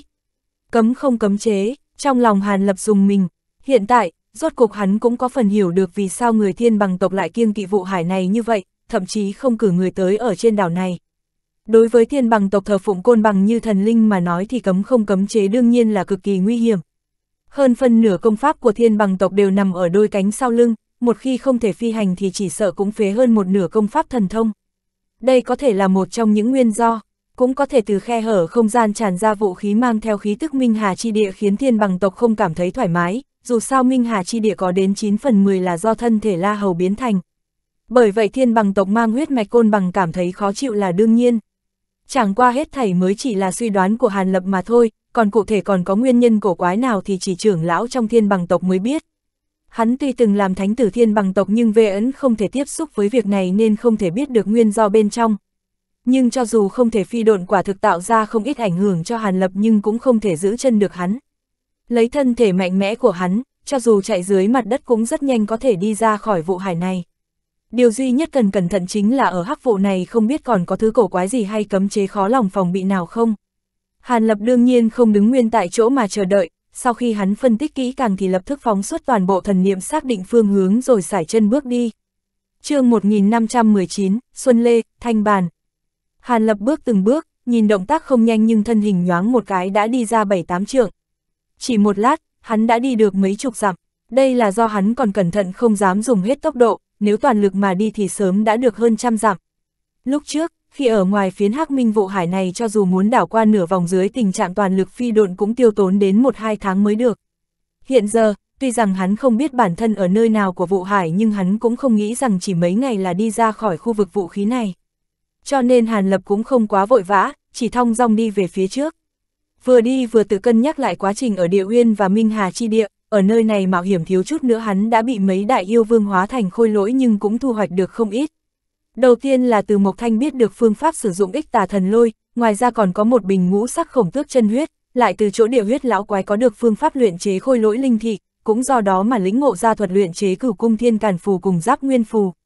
Tiếp đó ở trong Minh Hà chi địa lại được Khương lão giả truyền thụ Tân Thanh Nguyên kiếm quyết, cùng phương pháp tinh luyện Thanh trúc phong vân kiếm. Chỉ cần về sau bỏ công nghiên cứu thì đủ khiến kiếm trận nâng cao uy lực thêm một bậc. Chẳng qua những thứ này đều không giá trị bằng việc lão giả đồng ý trao đổi Minh Hà thần nhũ. Hắn giờ đã biết được thần nhũ có công hiệu nghịch chuyển thể chất, khiến thân người có thể hấp thu thêm nhiều thiên địa nguyên khí. Thứ thần kỳ như vậy hắn đương nhiên không định bỏ qua. Có thần nhũ này tương đương với việc tiết kiệm được nhiều thời gian tu luyện. Đối với một kẻ tư chất bình thường như Hàn Lập mà nói thì là một chuyện rất trọng yếu. Cho dù danh sách đồ vật mà lão giả yêu cầu có hơn phân nửa đều là thứ khó tìm nhưng chỉ cần kiếm được hơn phân nửa thì cũng không phải không có hy vọng. Dù sao chàng giao dịch này cũng không thể hoàn thành lập tức, chỉ cần trong ngàn năm hắn mang đến là được. Với thời gian dài như vậy, Hàn Lập có vài phần tự tin có thể hoàn thành. Chẳng qua việc hắn cần làm bây giờ là trở về động phủ, đem tất cả những gì thu được trong lần này tiêu hóa, đóng cửa khổ tu pháp lực. Sau khi đạt tới hóa thần hậu kỳ đỉnh phong hắn sẽ lấy hắc viêm đan để trùng kích cảnh giới luyện hư. Lần ra ngoài này hắn liên tiếp đụng vài nhiều tồn tại hợp thể như vậy, lại tận mắt nhìn thấy bọn họ thi pháp chiến đấu nên mơ hồ cảm nhận được việc bản thân đột phá cảnh giới hóa thần hậu kỳ có vài phần nắm chắc. Tuy rằng lúc trước những tồn tại đó mới chỉ điểm cho hắn một chút, nhưng Mộc Thanh so với hắn hơn hẳn hai đại cảnh giới, nên thu hoạch cũng không nhỏ. Dù sao tu sĩ bình thường có mấy người được tận mắt thấy tu sĩ hợp thể tranh đấu. Hàn Lập suy nghĩ, trong phút chốc đã sắp đặt xong kế hoạch tu luyện tiếp theo của bản thân. Tiếp đó, từ trong chữ vật thủ trạc lấy ra một khối ngọc giản, đây đúng là vật mà Khương lão giả đưa cho hắn, bên trong ghi lại tân thanh nguyên kiếm quyết. Hàn lập chia thần niệm làm hai, một phần nhỏ để khống chế bản thân tiếp tục đi về phía trước, phần còn lại tiến vào trong ngọc giản, bắt đầu nghiên cứu bộ kiếm quyết này. Lúc đầu, vẻ mặt hắn vẫn bình đạm như cũ, nhưng càng nghiên cứu tiếp thì thần sắc hắn càng trở lên nghiêm túc, cuối cùng trao mày không thôi. Ước chừng khoảng một bữa cơm sau, ngọc giản trong tay Hàn lập chớp lên thanh quang rồi biến mất, ánh mắt hắn lộ rõ vẻ trầm ngâm suy tư. Đại khái hắn cũng đã xem qua một lượt về bộ tân kiếm quyết này. Bộ tân kiếm quyết này ở 13 tầng dưới cũng không có thay đổi quá lớn, không ảnh hưởng đến sở học trước kia của hắn. biến hóa chủ yếu nằm ở 5 tầng sau của kiếm quyết. 5 tầng này phân biệt đối ứng với 3 giai đoạn của hóa thần cùng hai giai đoạn sơ kỳ và trung kỳ của luyện hư. Nếu tu luyện hoàn tất có thể tiến vào cảnh giới luyện hư hậu kỳ. Nếu Hàn Lập không tu luyện Phạm Thánh chân ma công thì quả thức cảm thấy hứng thú với công pháp này. Hiện giờ hắn chỉ có thể ở trong 5 tầng kiếm quyết về sau chọn ra một ít bí thuật thần thông để tu luyện mà thôi. Dù sao hắn đã là pháp thể song tu, không thể tiêu phí thời gian tiếp tục tu luyện công pháp này. Đây cũng là do hắn có 10 ma tầng kiếm quyết ban đầu làm cơ sở, hơn nữa bản thân cũng là tu sĩ hóa thần hậu kỳ. Nếu không gặp phải một tu sĩ cấp cao khác lấy được bộ kiếm quyết này thì cũng chỉ có thể dương mắt mà nhìn, hơn phân nửa không thể tu luyện. Chẳng qua trong tân kiếm quyết mới này, thứ Hàn Lập cảm thấy hứng thú nhất chính là hai bộ kiếm trận mới. Một bộ có tên Xuân Lê, một bộ có tên Thanh Bàn. Hai bộ kiếm trận này nếu phối hợp với 5 tầng kiếm quyết phía sau sẽ vô cùng lợi hại, đủ để vượt cấp khiêu chiến tồn tại cấp cao hơn. Cho dù không có 5 tầng kiếm quyết phía sau duy trì thì vẫn có thể bày ra hai bộ kiếm trận này. Chỉ là yêu cầu đối với phi kiếm vô cùng cao, nhất định phải là phi kiếm thuần túy một thuộc tính được bồi dưỡng đến một mực độ cực cao. Với 72 cây thanh trúc phong vân kiếm hiện nay của Hàn Lập thì đúng là không thể thỏa mãn yêu cầu của hai bộ kiếm trận này, mà cần phải rèn luyện một phen nữa. Trong đó thì Xuân Lê kiếm trận chỉ cần phi kiếm của hắn thỏa mãn điều kiện là có thể lập tức tu luyện, còn bộ kiếm trận thanh bàn thì sau khi hắn tiến giai lên luyện hư trung kỳ mới có thể tu luyện. Kể từ đó, Hàn Lập tập trung tinh lực nghiên cứu phương pháp tinh luyện phi kiếm được ghi lại ở phần cuối. Chỉ là đọc đến đây, thần sắc hắn lại tỏ ra trần trừ không quyết. Bộ pháp môn này không có gì phức tạp, nhưng quá trình rèn luyện phi kiếm lại tương đối lâu dài, mà trong lúc đó phi kiếm vô cùng yếu nhược, không thể dùng để đối địch. Chỉ sau khi tinh luyện hoàn thành, tiếp tục bồi luyện đến khi kiếm tâm thông linh thì mới có thể chân chính phát huy. Chiếu theo những gì ghi lại thì canh tinh ban đầu hắn nhập vào phi kiếm cũng phải khu trừ. Nếu như vậy, đại canh kiếm trận về sau cũng không thể bố trí. Điều này khiến Hàn Lập không khỏi do dự, thời gian dài một chút cũng không thành vấn đề, tạm thời không vận dụng phi kiếm cũng không sao bởi hắn không phải chỉ dựa vào một bộ thanh trúc phong vân kiếm này để đối địch. Nhưng mất đi đại canh kiếm trận khiến hắn không khỏi tiếc nuối. Tuy rằng nói hai bộ kiếm trận mới xuân lê, thanh bản có uy năng hơn xa đại canh, cho nên bỏ đi đại canh là đương nhiên. Nhưng Hàn Lập vẫn chưa tận mắt chứng kiến uy lực hai loại kiếm trận này, còn đại canh kiếm trận lại không chỉ một lần trợ giúp hắn khắc địch chế thắng, cho nên trong lòng không tránh khỏi do dự. Hắn không có ý định tu luyện 5 tầng còn lại của thanh nguyên kiếm quyết, mà chỉ căn cứ theo đó mà tinh luyện lại phi kiếm mà thôi, còn về sau có thể phát huy uy năng của hai loại kiếm trận đến trạng thái nào cũng là chuyện khó nói. Nếu uy năng của hai loại kiếm trận này do hắn sử dụng mà không bằng đại canh kiếm trận ban đầu thì quả thực là mất nhiều hơn được. Ngay lúc Hàn Lập bởi vì kiếm trận mà trần chờ không biết thì bỗng thần sắc thoáng động, cước bộ ngừng lại đứng yên một chỗ, ánh mắt đảo qua phiến hắc vụ bên cạnh, sắc mặt hắn trầm xuống lạnh giọng nói, các hạ lén lút ở đó, chẳng lẽ muốn đánh lén tại hạ sao? Hắn vừa nói xong liền lập tức nhấc tay, tiếng sấm rền vang, một đạo kim hồ thô to bắn ra, trong chớp mắt tự động cuộn lại hóa thành một quả kim sắc lôi cầu. Ở bề ngoài lôi cầu truyền tới tiếng sấm ỉ ùm không dứt, ẩn ẩn còn có kim sắc phù văn không ngừng chấp động, thanh thế kinh người. Các hạ không phải người thiên bằng tộc, một thanh âm bỗng vọng tới từ phương hướng Hàn Lập quan sát. Ngươi là ai, sao biết được? Hàn Lập nhíu mày, chậm rãi hỏi. Hắc hắc, nếu đã không phải thiên bằng nhân lại còn là một gã linh tướng nữa. Ngay cả một linh suất cũng không thể bình yên vô sự ở nơi này. Thanh âm kia lạnh lùng nói. ô, nghe khẩu khí của ngươi thì dường như biết rất rõ thiên bằng nhân cùng nơi này. Chẳng qua các hạ cần gì né tránh, còn không đi ra đây nói chuyện sao. Lời của Hàn Lập vừa dứt thì lôi cầu trong tay đã nhoáng lên, lập tức biến mất không thấy bóng dáng. Ngay sau đó, ở trong hắc vụ chợt lóe kim quang, lôi cầu từ trong hư không quỷ dị xuất hiện rồi lập tức nổ mạnh. Trong kim quang chớp động, một bóng ảnh màu đen từ trong vũ khí lướt qua, chỉ chớp lên vài cái đã xuất hiện ở 10 trượng phía trước Hàn Lập. Hàn Lập cẩn thận nhìn thì không khỏi ngẩn ra, kẻ đứng đằng trước trên đầu lại có một cặp nghiêu giác màu trắng, vẻ mặt xanh lét. Thần niệm đảo qua người đối phương phát hiện đây là một gã luyện hư kỳ, hơn nữa trên người hắn còn có một cỗ khí tức khá quen thuộc. Hàn Lập cảm thấy kỳ quái, trong lòng tự hỏi, bỗng nhiên hắn kinh ngạc nói. Hạo thú, các hạ là cao nhân hạo thú tộc, không đúng, âm khí trên người ngươi nặng như vậy, nhất định là tu luyện công pháp quỷ đạo. Ngưu giác thanh niên thấy Hàn Lập có thể nói ra lai lịch của mình thì thoáng biến sắc, nhưng trong mắt lập tức lóe lên sát khí, vẻ mặt dữ tợn, tiểu bối, lão phu vốn định tha cho ngươi một mạng nhưng hiện tại nếu đã nhận ra lai lịch của ta thì bất kể ngươi là người trong chi nào của phi linh tộc cũng đừng nghĩ còn sống rời khỏi nơi này. Vừa dứt lời, thanh niên hé miệng phun ra một cỗ âm phong cuồn cuộn thổi đến người Hàn Lập. Người này nói giết là giết không chút chần chờ. Hàn Lập một chút lỡ lời nói ra lai lịch đối phương, vốn cũng có chút hối hận, nhưng thấy đối phương động thủ thì ngược lại còn mỉm cười.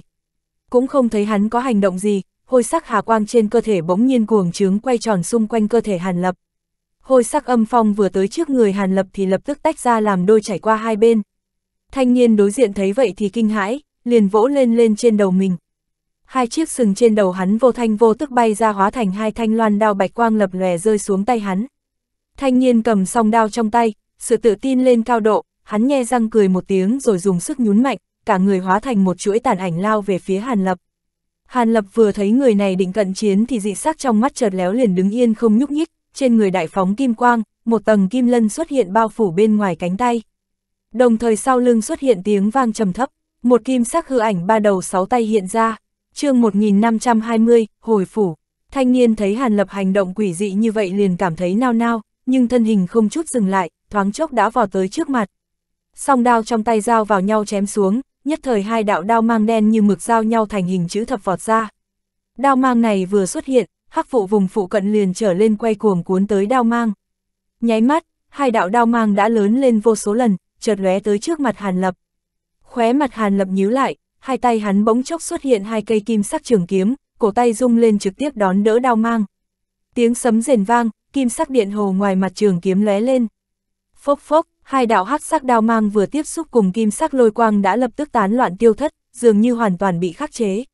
A, thanh niên kinh hãi, trên khóe miệng Hàn Lập nở một nụ cười nhạt, hiển nhiên đao mang do kẻ kia phóng ra chứa không ít tà ma chi khí, nếu không ngay cả thanh trúc phong vân kiếm của hắn sắc bén cũng không thể dễ dàng chém nát chúng như vậy.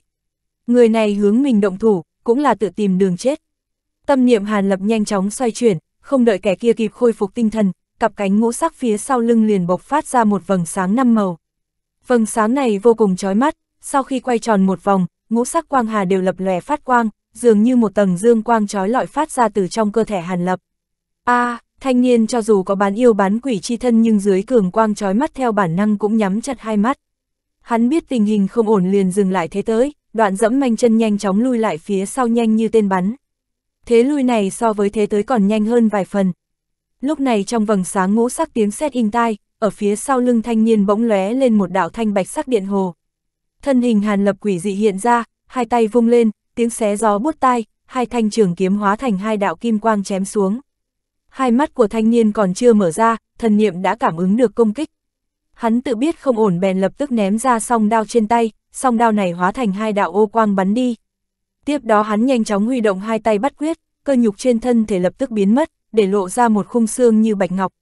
Khung xương này thoáng rung lên bèn phóng ra một tầng bạch sắc quang cháo bao phủ thân hình bên trong. ầm ầm, hai tiếng sấm nổ lại vang lên, hai thanh trường kiếm biến thành kim quang bị song đao ngăn cản. Hàn Lập cũng không hề cảm thấy bất ngờ. Một yêu vật cấp luyện hư dùng binh khí do bản thể biến thành nếu không có một chút uy năng mới là kỳ quái. Hắn vốn từ đầu đã không kỳ vọng hai phi kiếm này có thể giết chết yêu vật. Trong nháy mắt song kiếm chém ra, pháp tướng Phạm Thánh chân ma công sau lưng hắn cũng vung lên sáu cánh tay, nhất thời vô số quyền ảnh như kim sắc liên hoa nở rộ, lại như mưa rào trùng trùng đánh tới bạch sắc quang cháo. Quyền ảnh che kín đất trời, mỗi quyền đều ẩn chứa thần lực mạnh mẽ hơn người của Hàn Lập. Lúc này hắn hoàn toàn dựa vào sức mạnh thân thể mà phát động công kích liên tục. Trong nháy mắt bạch sắc quang mạc phải chịu vô số quyền ảnh đánh lên, bề ngoài quang mạc vốn vô cùng chắc chắn giờ phút này cũng ảm đạm đi nhiều. Quang cháo dưới sự công kích liên tục của quyền ảnh rốt cục cũng không chịu được nữa mà vỡ nát. Hết thảy quá trình chỉ trong một lượt hô hấp, yêu vật kia vốn cũng chỉ mới đảo ngược lại thân hình và mở ra hai mắt mà thôi. Huyết nhục bên ngoài đã biến mất, trong đôi mắt trống rỗng chỉ còn hai luồng lục hỏa không ngừng chấp động. Vừa thấy hộ thể quang cháo không thể chịu nổi một kích, yêu vật này đã kinh hồn táng đảm, không chút lưỡng lự liền há to miệng phun ra mấy đạo hắc mang đen như mực bắn về phía Hàn Lập, đồng thời thiên linh cái trên đỉnh đầu cũng tự động vỡ ra để lộ một viên châu xanh biếc bay vọt lên không trung. Còn thân hình bạch cốt bên dưới lập tức phân giải hóa thành một bạch cốt thuẫn bài ngăn cản phía sau viên châu theo sát nó bay vụt đi. Yêu vật này quyết định cực nhanh, do gặp phải Hàn Lập thần thông kinh người, hắn tự thấy bản thân không thể địch lại lên liền tính kế bỏ trốn. Nó tại trong hắc minh vụ tu luyện nhiều năm, tự nhận chỉ cần nới rộng khoảng cách thì tuyệt đối có thể bỏ rơi Hàn Lập mà biến mất không để lại tung tích. Chỉ là lúc này Hàn Lập đã động sát tâm, yêu vật trước mắt nếu chạy thoát thì quả là một đại họa sau này. Hắn hừ lạnh một tiếng, hôi sắc hà quang trên người chợt lóe, vài đạo hắc mang quay tròn trong hôi quang rồi biến mất vô tung vô ảnh. Kim sắc quyền ảnh đầy trời cũng biến mất, pháp tướng Phạm Thánh chân ma công sau lưng chợt lóe kim quang, sáu cánh tay dừng lại sau đó phun ra sáu đạo điện hồ. Tiếng sét ầm vang, thoáng chốc sáu đạo điện hồ huyễn hóa thành sáu cây kim sắc lôi thương. Sáu cánh tay lập tức ném manh lôi thương trong tay, kim quang chợt lóe liền lập tức lướt tới phụ cận cốt thuẫn, bốn phía phù văn không ngừng lưu chuyển, mũi thương vô cùng sắc bén lập tức đánh lên trên cốt thuẫn. Ầm ầm ầm, ba tiếng nổ lớn vang lên, mặt trên cốt thuẫn chỉ đỡ được ba cây kim thương đã bắt đầu nứt toác. Cây kim thương thứ bốn tiếp tục đánh lên, cốt thuẫn rốt cục không thể tiếp tục duy trì liền vỡ vụn. Ba cây kim thương còn lại đồng loạt đánh lên trên lục châu gần đó. Điện hồ chấp động, bích lục viên châu lập tức vỡ nát. Hư ảnh hạo thú kinh hãi từ bên trong bắn ra, kim sắc điện hồ trên không trung đồng thời co rút lại hóa thành điện võng mưa gió không lọt, bỗng chốc đem nguyên thần của yêu vật vây chặt. Một tiếng kêu thê lương thảm thiết từ trong điện quang vang lên. Hư ảnh của hạo thú chấp lên vài lần rồi lập tức tiêu thất. Yêu vật này mới tiến giai lên luyện hư không lâu, nhưng vẫn bị Hàn Lập dễ dàng tiêu diệt. Trong khi đương nhiên một phần là do hắn thấy Hàn Lập có tu vị hóa thần nên coi thường, còn một phần là do thần thông của Hàn Lập so với trước khi rời khỏi cự đảo khác nhau rất lớn. Tuy rằng hắn không có nhiều thời gian tu luyện, nhưng trước tiên ở thiên bằng tộc chiếm được kinh chập thập nhị biến, sau đó ở địa uyên lại học được tế lôi thuật khiến uy năng của ích tà thần lôi tăng lên rất nhiều. Hơn nữa lúc trước hắn cùng phục dụng chân huyết côn bằng cùng ngũ sắc khổng tước khiến pháp lực dưới sự kích thích tăng lên rất nhiều. Trước khi tiến giai hóa thần hậu kỳ, Hàn Lập đã có thể tiêu diệt tồn tại cấp luyện hư. Hiện giờ tất nhiên không để kẻ bán yêu bán quỷ kia vào trong mắt. Hơn nữa yêu này tựa hồ không hề có bảo vật trên người, tất nhiên càng không thể là địch thủ của Hàn Lập được. Hàn Lập sau khi tiêu diệt yêu vật này thì lạnh lùng đánh giá bộ xương như bạch ngọc dưới đất. Ngón tay khẽ búng ra một hỏa cầu đỏ đậm, phốc một tiếng, hai cốt yêu vật ở trong hỏa diễm trùng trùng thiêu đốt, thoáng chốc đã tiêu biến. Hàn Lập cũng không lưu lại nơi này mà tiếp tục rời đi, không lâu sau, thân hình hắn đã tiêu thất trong hắc sắc vũ khí. Lúc này tuy hắn có thể dễ dàng tiêu diệt đối thủ, nhưng việc vô duyên vô cớ phải đánh nhau sống chết một hồi khiến hắn vô cùng buồn bực. Hắn tất nhiên không biết vừa rồi đã tiêu diệt chỗ dựa vững chắc nhất của đám trung gia yêu thú tại Hắc ẩn Sơn Mạch khiến ý định mượn sức yêu vật bán yêu bán quỷ giúp chúng thoát khỏi nô ngân của thiên bằng tộc lấy lại tự do đã hoàn toàn phá sản. Chẳng qua việc này cũng không có quá nhiều can hệ với Hàn Lập. Hắn vẫn một mạch đi trong vũ khí, vừa đi vừa tiếp tục cân nhắc về bộ tân kiếm quyết kia. Hơn nửa tháng sau, tại trong vụ hải bên cạnh một tòa hoang sơn bỗng quay cuồng nhiễu động, hồi quang chợt lóe, một đạo nhân ảnh từ bên trong bắn ra. Tiếp theo đó nhân ảnh liền lập tức bay thẳng lên trời cao, chỉ sau vài lần chớp động đã đứng trên đỉnh hoang sơn. Quang mang tắt đi, thân hình Hàn Lập hiện ra, hắn rốt cục cũng đi ra khỏi hắc minh vụ hải, đang vô cùng hưng phấn. Toàn thân đứng trên một khối bạch sắc cử thạch huyết gió vang vọng, âm thanh như lên tận cửu tiêu, cả khoảng không phụ cận không ngừng ông ông, mây trắng trên trời cũng trở lên quay cuồng. Lúc này, Hàn Lập mới đảo mắt nhìn quanh bốn phía, rất nhanh biết được bản thân đang ở nơi nào trên cự đảo. Cả người lập tức hóa thành một đạo cầu vòng thanh sắc vọt đi. Chỉ sau vài lần chấp lên, độn quang đã hóa thành một chấm nhỏ phía cuối chân trời rồi biến mất không thấy bóng dáng. Ở sâu trong hắc ẩn sơn mạch, một tòa núi lớn bị bạch sắc vũ khí che phủ, thanh quang chợt tắt. Thân hình Hàn Lập xuất hiện ở dưới chân núi, hắn ngẩng đầu nhìn cả tòa núi này, tựa hồ không hề có chút thay đổi so với khi mới rời đi. Hàn Lập vung tay khắp quyết, nhất thời bạch sắc vũ khí trước mắt trở lên quay cuồng để lộ ra một thông đạo tiếp theo từ từ khống chế độn quang bay vào trong đó. Mới tiến vào động phủ, Hàn Lập trước tiên đi đến dược viên xem xét, hắn thấy tất cả vẫn bình yên vô sự, các linh mục linh thảo gieo trồng lúc trước vẫn còn nguyên, lúc này mới hoàn toàn an tâm. Sau đó Hàn Lập tiến đến phòng ngủ của mình, hắn lập tức lên giường nằm. Lần này hắn ngủ qua hai ngày hai đêm, cho dù lúc trước ở động phủ của lão giả họ Khương có nghỉ ngơi một chút nhưng sao có thể thoải mái bằng động phủ của mình. Khi Hàn Lập thức dây, thân thể tinh thần đều trở lên thoải mái, không còn chút mệt mỏi nào. Hắn rời giường rửa mặt qua một chút rồi ra khỏi phòng ngủ. Nghỉ ngơi xong, đương nhiên hắn muốn tiến vào mật thất để tìm hiểu những thu hoạch được trong lần ra ngoài này, ngoài ra tiếp tục dùng chân thiềm linh dịch bế quan muốn tiến tới hóa thần đại viên mãn thật nhanh sau đó trùng kích vào luyện hư kỳ. Tinh thần lực lưu lại trong thiên bằng xá lợi cần nhanh chóng luyện hóa hết, từ đó chiếm được khẩu quyết luyện hóa chân long thiên phượng chân huyết, như vậy mới có thể nhanh chóng dung hợp hai loại chân huyết này vào trong thân thể. Về phần tìm hiểu kiếm trận trong tân kiếm quyết cùng cách tinh luyện phi kiếm cũng là một việc cần là ngay. Trong lòng âm thầm cân nhắc, Hàn Lập vừa đi đến mật thất vừa vỗ vào sau ót. Nhất thời một đoàn điều quang từ trên đỉnh đầu bay ra, trong nháy mắt hóa thành một hắc sắc tiểu nhân cao độ một thốn đang huyền phù trên không trung. Đây đúng là đệ nhị Nguyên Anh, tiếp đó, ống tay áo hắn run lên, đề hồn cùng báo lân thú cũng được phân biệt thả ra. Hàn Lập nhìn cả ba mỉm cười rồi khoát tay đem tiểu bình thần bí kia cho đệ nhị Nguyên Anh. Đệ nhị Nguyên Anh sau khi nhận được tiểu bình cũng khẽ mỉm cười, chờ thân hình Hàn Lập biến mất thì mới hướng nhị thú phân phó vài câu rồi bay sang một hướng khác. chương 1521, Trọng luyện thần Sơn. Sau một lát, Hàn Lập tiến vào trong mật thất khoanh chân ngồi xuống bắt đầu đảo qua mọi nơi. Kết quả, ánh mắt của hắn dừng lại tại một góc mật thất, nơi có ba khối đá hôi bạch sắc. Đây là vài mảnh vụn từ khối thạch đôn kỳ dị trong động phủ lam giao ngoài biển. Thứ này năm đó bị hắn dùng phệ kim trùng cắt ra, nhưng bởi bận tu luyện nên vẫn chưa xử lý qua thứ này. Lại nói tiếp, vật này nặng vô cùng. Hàn Lập vốn định đem luyện chế thành một kiện bảo vật thuần uy lực nhưng sau khi phệ kim trùng thôn phệ một ít toái thạch đã bất ngờ xảy ra biến dị. Điều này làm Hàn Lập có chút do dự, có thể khiến phệ kim trùng thành thuộc thể biến dị, đủ để thấy vật này quý hiếm thế nào. Chẳng qua linh trùng biến dị cũng không nhất định là chuyện tốt, sau khi biến dị năng lực tuy phần lớn là mạnh hơn ban đầu nhưng cũng không ít trường hợp trở lên yếu đi. Ít nhất, hơn ngàn đầu phệ kim trùng biến dị kia của Hàn Lập trừ bỏ thân thể càng thêm cứng rắn cùng tăng cường sức nặng thì đến giờ Hàn Lập vẫn chưa phát hiện ra chỗ diệu dụng nào khác.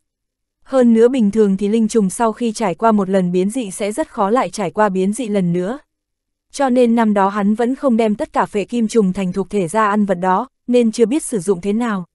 Chẳng qua hiện giờ hắn từ trong lời của Khương lão giả biết tới phệ kim trùng vương thì cảm thấy vô cùng hứng thú, nên lại càng không dễ dàng để phệ kim trùng thành thuộc thể biến dị. Nếu không, vạn nhất về sau bởi vì phệ kim trùng bị biến dị hết nên không thể bồi dưỡng ra phệ kim trùng vương, thế chẳng phải là vô cùng đau khổ sao. Huống hồ lần này ra ngoài, Hàn Lập đã có một ý tưởng tốt hơn để xử lý loại đá cực nặng này. Lam mang trong mắt Hàn Lập chợt lóe, hắn nhấc tay, từ bên trong ống tay áo có thể nhìn thấy một bàn tay đen như mực, năm ngón tay khẽ run lên, từ trong hắc mang chấp động một tiểu sơn độ vài tấc bắt đầu hiện lên. Núi này trong nháy mắt đại phóng hôi mang, biến lớn hơn trượng đứng sừng sững giữa hư không. Kim quang trên người chợt lóe, hư ảnh ba đầu sáu tay sau lưng Hàn Lập hiện ra, trong miệng quát nhẹ một tiếng, sáu cánh tay của pháp tướng đồng thời chụp tới một khối đá trong góc. Nếu như là mấy năm trước khi chưa dung nhập côn bằng cùng ngũ sắc khổng tước chân huyết thì chỉ sợ một chảo cách không này còn không thể làm động đậy khối đá hôi bạch sắc này. Nhưng hiện giờ chẳng những tu vị của hắn tiến đến hóa thần hậu kỳ, thân thể sau khi dung nhập chân huyết hai loại chân huyết cũng mạnh mẽ hơn rất nhiều. Cho nên dưới một chảo này, một khối đá trong đó khẽ rung lên rồi chậm chậm bay tới bên Hàn Lập. Hàn Lập thấy vậy, năm ngón tay đen như mực co lại, nhất thời hôi quang trên nguyên từ thần sơn đại phóng, vô số hôi sắc hà ti bắn tới vây chặt khối đá kia, mưa gió không lọt. Sáu cánh tay của Pháp tướng Phạm Thánh chân ma công phía sau cũng đồng thời huy động. Khối đá màu xám cứ vậy bay thẳng tới hắc sắc tiểu sơn. Hàn Lập khẽ nhíu mày, trong miệng không ngừng đọc chú ngữ, đồng thời điểm một chỉ về phía tiểu sơn. Nhất thời hình thể nguyên từ thần sơn lớn lên, bề mặt tiếp xúc với khối đá kia tự động mở ra một lỗ hồng, bên trong chứa vạn đạo hôi quang. Do Hàn Lập đem thần sơn hoàn toàn luyện hóa cùng thủ trưởng thành một thể nên có thể điều khiển như ý, hơn nữa sau khi tu vị tới một trình độ nhất định liền lĩnh ngộ ra bí thuật biến hóa. Nói lại, nếu trước khi tu luyện bách mạch luyện bảo quyết thậm chí trước khi rời khỏi cự đảo thì chỉ sợ đều không thể làm được thế này. Oanh, một tiếng vang thật lớn xuất hiện, khối đá hôi bạch sắc kia dưới hôi ti bao bọc lập tức tiến vào lỗ thủng do thần sơn để lộ ra. Cú va chạm đó khiến nguyên từ thần sơn chấn động, bay ra phía sau mấy trượng, đồng thời rơi mạnh xuống dưới mặt đất. Lại một tiếng vang nữa nổi lên, mặt đất ở mất thất cùng cấm chế trên bốn vách tường đều chớp lên vài cái.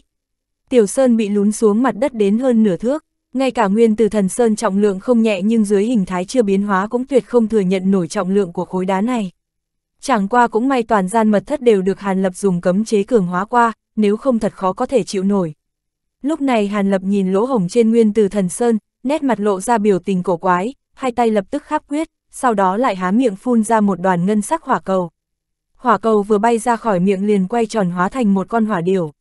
Dưới sự thôi động của pháp quyết, hỏa điểu trực tiếp chui vào lỗ hổng của nguyên từ thần Sơn. Hàn Lập không chút lưỡng lự tế ra chữ vật thủ trạc. Vật này lơ lửng trên không trung lóe lên linh quang, một ít tiểu bình cùng mộc hạp đều được phóng ra, nằm lặng yên dưới đất trước mặt Hàn Lập. Thần niệm Hàn Lập đảo qua mấy thứ này, tất cả các nắp hộp nắp bình đều tự động mở ra để lộ các loại tài liệu luyện khí bên trong. Phần lớn đều là tài liệu phụ trợ quý hiếm, trong đó hơn phân nửa là do hắn dùng đại lượng linh thạch mua được ở Thiên Nguyên Thành, còn đâu là do hắn thu thập được ở nhân giới và mây ngày ở Thiên Bằng Tộc. Ánh mắt Hàn Lập đảo qua đám tài liệu này, lập tức tìm được tài liệu phụ trợ mình cần.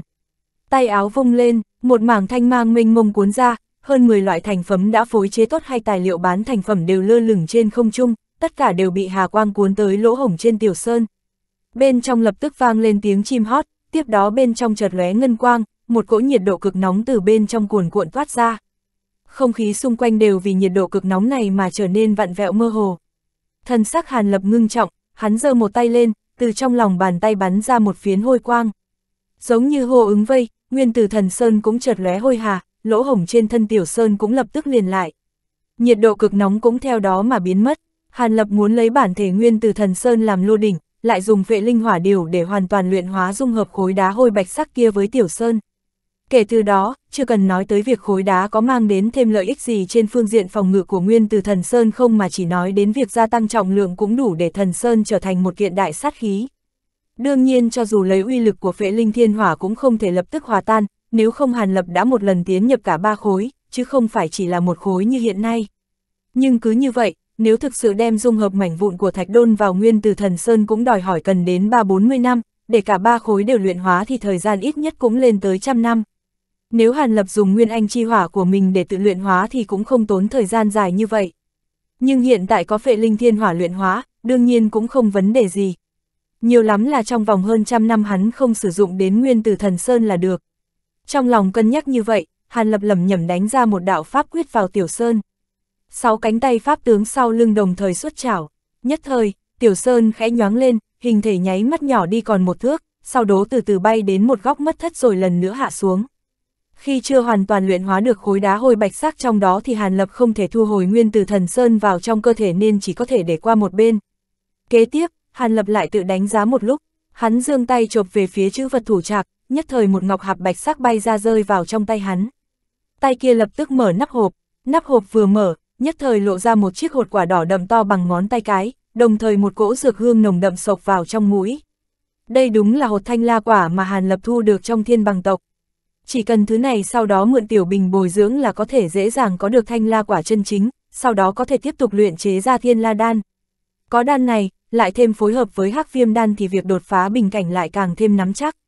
Hàn Lập dùng hai ngón tay kẹp lấy hột quả, hai mắt híp lại cẩn thận đánh giá sau đó nháy mắt phóng suốt thần niệm ra khỏi thạch thất. Lát sau, có một đoàn ô quang bay tới nơi này. Đây đúng là đệ nhị Nguyên Anh, Hàn Lập căn bản không cần mở miệng nói gì, hắn chỉ lần nữa để lại hột quả vào trong hộp ngọc rồi trực tiếp ném tới. Bàn tay nhỏ bé của đệ nhị Nguyên Anh trực tiếp đỡ lấy, tiếp đó thân hình lại nhoáng lên biến mất khỏi nơi này. Sau khi làm xong hai việc quan trọng, Hàn Lập thở dài một hơi chậm rãi nhắm lại hai mắt. Việc kế tiếp hắn cần làm chính là tìm hiểu kiếm trận trong bộ tân kiếm quyết kia để xem uy lực của Xuân Lê và Thanh Bản có thực sự lợi hại không. Từ đó sẽ có quyết định buông hay không buông đại canh kiếm trận, cũng từ đó mà tinh luyện 72 cây thanh trúc phong vân kiếm. Hóa thần từ trung kỳ trở lên đã có thể sử dụng Xuân Lê kiếm trận, nhưng độ phức tạp và thâm ảo của kiếm trận này thì hơn xa đại canh kiếm trận. Thời gian trôi qua, thoáng chốc đã 3 tháng, hai mắt Hàn Lập khẽ động, lúc này hắn mới từ trong tĩnh tỏa tỉnh lại. Nhưng trong mắt hắn có chút thần sắc cổ quái, cùng một chút do dự. Xuân Lê, hóa ra là ý ngày.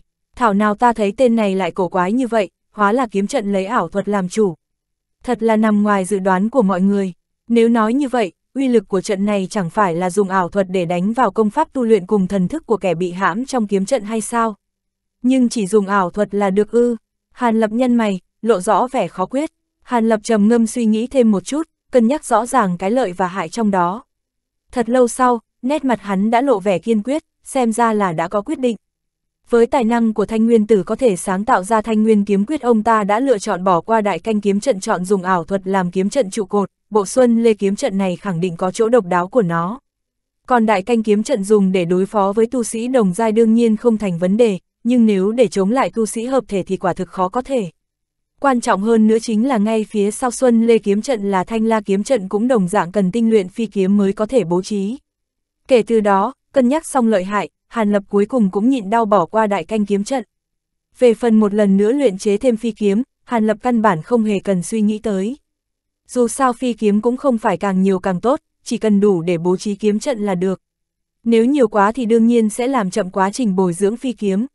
Hàn Lập không hy vọng bổn mạng pháp bảo của mình cuối cùng lại trở thành một cái gân gà bỏ cũng không được mà không bỏ cũng không xong. chương 1522, Chủng Kiếm. Trong lòng đã quyết, Hàn Lập tất nhiên không chần chờ hắn lật tay lấy ra ngọc giản do lão giả họ Khương đưa cho lúc trước. Lúc này đây, hắn không phải nghiên cứu kiếm quyết mà bắt đầu nghiên cứu phương pháp tinh luyện phi kiếm. Lần trước tuy có xem qua một lần nhưng với tính quan trọng của việc này, Hàn Lập tất nhiên muốn xem lại một lần nữa. Không bao lâu, Hàn Lập rời thần niệm khỏi ngọc giản, hai mắt nhíu lại. Chiếu theo những gì trong ngọc giản thì để khu trừ tạp chất trong phi kiếm có tất cả ba cách. Đơn giản nhất, cũng không cần dùng ngoại vật chính là dùng nguyên anh chi hỏa trong cơ thể để luyện hóa tất cả tài liệu không phải một thuộc tính trong phi kiếm. Phương pháp này tuy đơn giản nhất nhưng độ nguy hiểm cũng không nhỏ. Chẳng qua các loại tài liệu trong phi kiếm sớm đã hòa làm một thể, muốn mạnh mẽ tách chúng ra rồi luyện hóa sạch sẽ thì chỉ sợ phải tốn đến 3-400 năm cũng chưa chắc đã thành công. Hơn nữa trong lúc này phải không ngừng dùng nguyên anh chi hỏa nên sẽ ảnh hưởng đến quá trình tu luyện của bản thân. Phải mất thời gian dài như vậy, Hàn Lập cơ hồ lập tức bỏ qua phương pháp này. Phương pháp thứ hai nêu trong ngọc giản gọi là cửu việm rong kim quyết. Công pháp này cần siêu tầm mấy loại đan dược hỏa thuộc tính đặc thù, sau đó bế quan 7-8 chục năm dùng công pháp này cộng thêm đan dược lực đem tạp chất trong thanh trúc phong vân kiếm mạnh mẽ khu trừ. Chẳng qua phương pháp này cũng vô cùng mạo hiểm, còn có thể làm tổn thương tinh khí tính mộc trong phi kiếm khiến uy lực của phi kiếm giảm đi. Hơn nữa đan dược hỏa thuộc tính cũng vô cùng quý hiếm, không phải muốn có là có được. Lúc trước, Khương Lão giả đưa ra điều kiện giúp tinh luyện phi kiếm, chắc chắn là hướng đến phương pháp này. Chỉ là loại phương pháp tự hại chính mình này đương nhiên không thể dùng. Kể từ đó, chỉ còn lại một phương pháp cuối cùng, cũng là phương pháp đối với người bình thường khó có thể làm được, nó cũng tiêu phí thời gian dài nhất. Đoạn cuối phương pháp này Khương Lão Giả cũng nói rõ đây chỉ là một loại suy đoán dựa theo lý luận mà thôi, chứ chưa tự kiểm nghiệm. Chẳng qua chỉ cần hoàn toàn án chiếu theo như vậy hẳn cũng có đến 8-9 thành nắm chắc. Hơn nữa một khi thành công thì cũng sẽ nhận được vô khối chỗ tốt. Loại phương pháp này được lão giả gọi là di hoa tiếp mộc. Chiếu theo đó, chỉ cần tìm được một số linh mộc còn non, tìm kiếm một chỗ linh khí nồng đậm trồng xuống, sau đó lại dùng bí pháp cấy phi kiếm vào trong thân cây.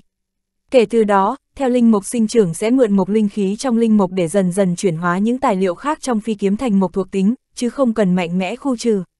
Sau khi đợi linh mộc trưởng thành, cũng bởi có một linh khí bồi dưỡng trong thời gian dài nên cũng không thương tổn đến nguyên khí trong phi kiếm, hơn nữa tự thân còn trở nên tinh thuần đến một mức độ khó có thể tưởng tượng.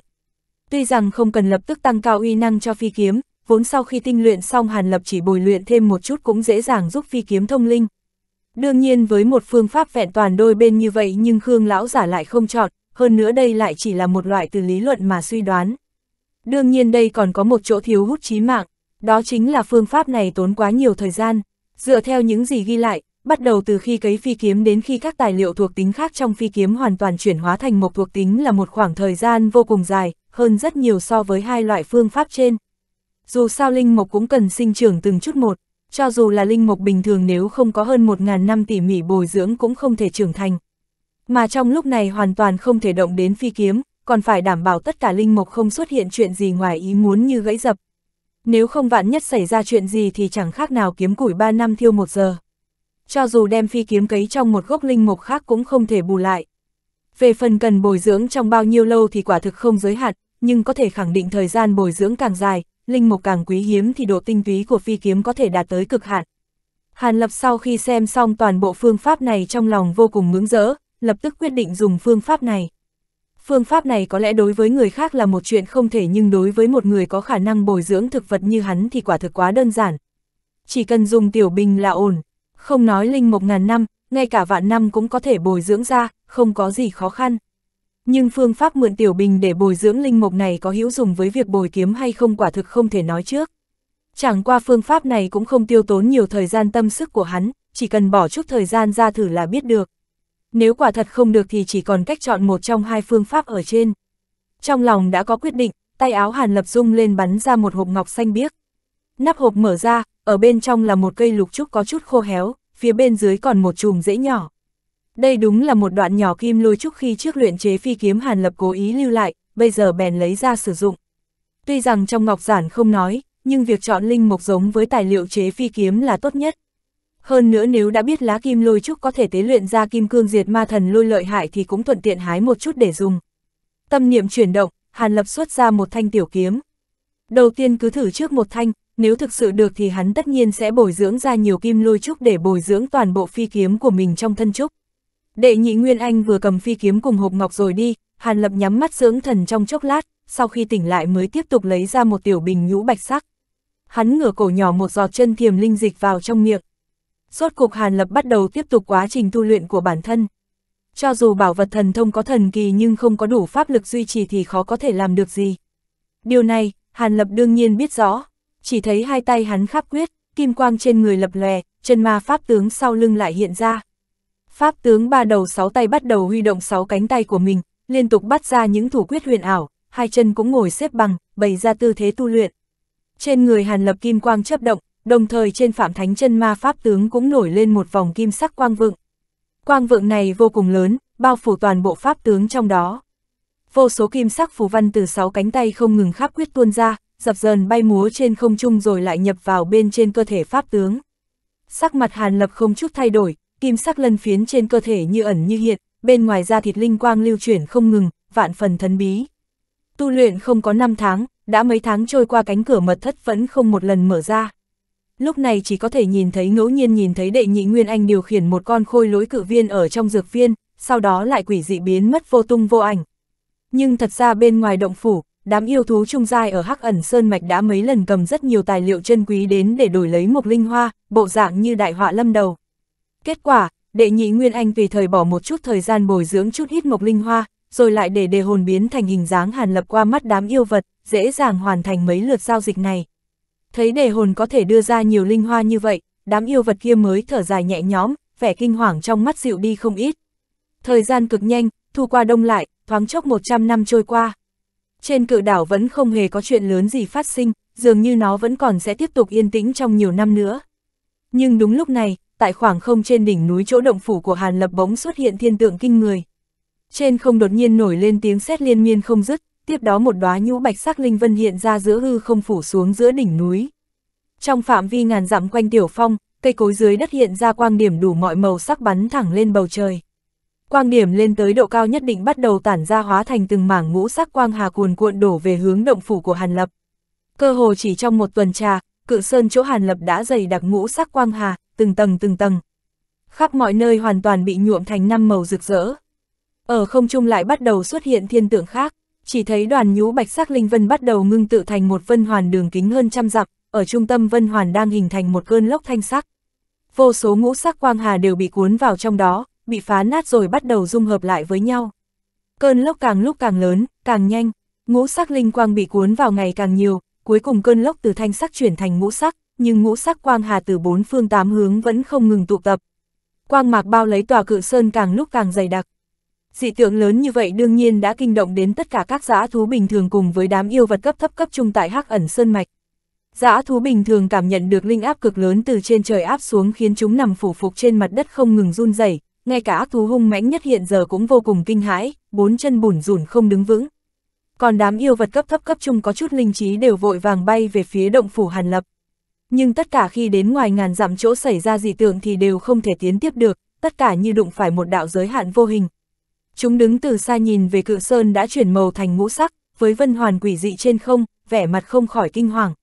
Tiểu thú đầu châu, cự mãng ba đầu vốn thường giao dịch cùng Hàn Lập hơn nữa đều đứng ở vùng phụ cận nên chúng nó đương nhiên có thể nhận ra dị tượng đó xảy ra ở nơi nào, lúc này không khỏi kinh hãi, bắt đầu đưa quay sang nhìn nhau.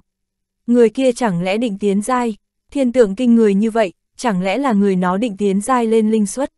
Cái đầu ở giữa của cự mãng ba đầu phát ra âm thanh khàn khàn.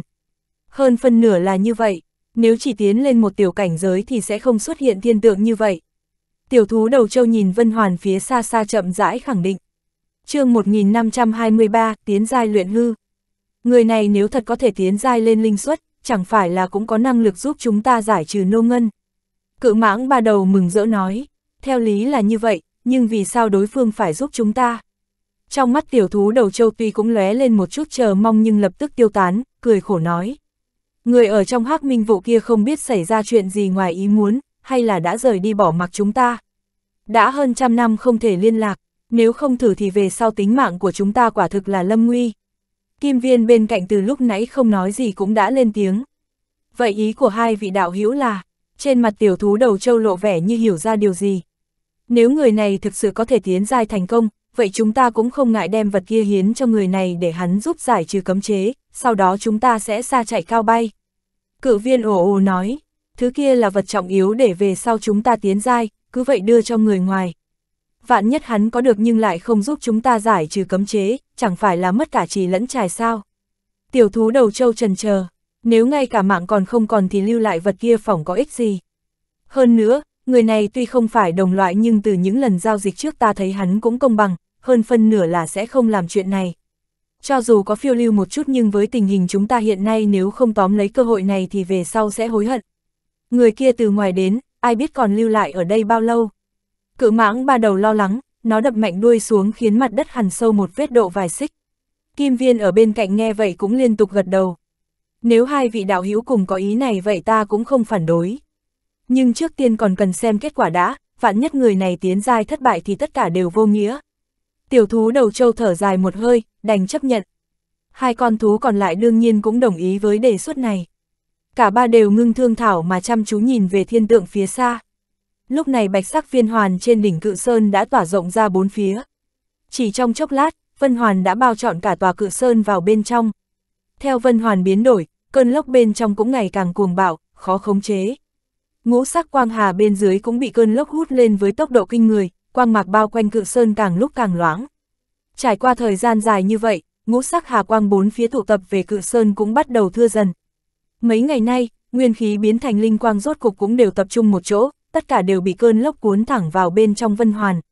Một tầng quang mạc cuối cùng trên cự sơn cũng biến mất hoàn toàn, cơn lốc cũng ngừng lại.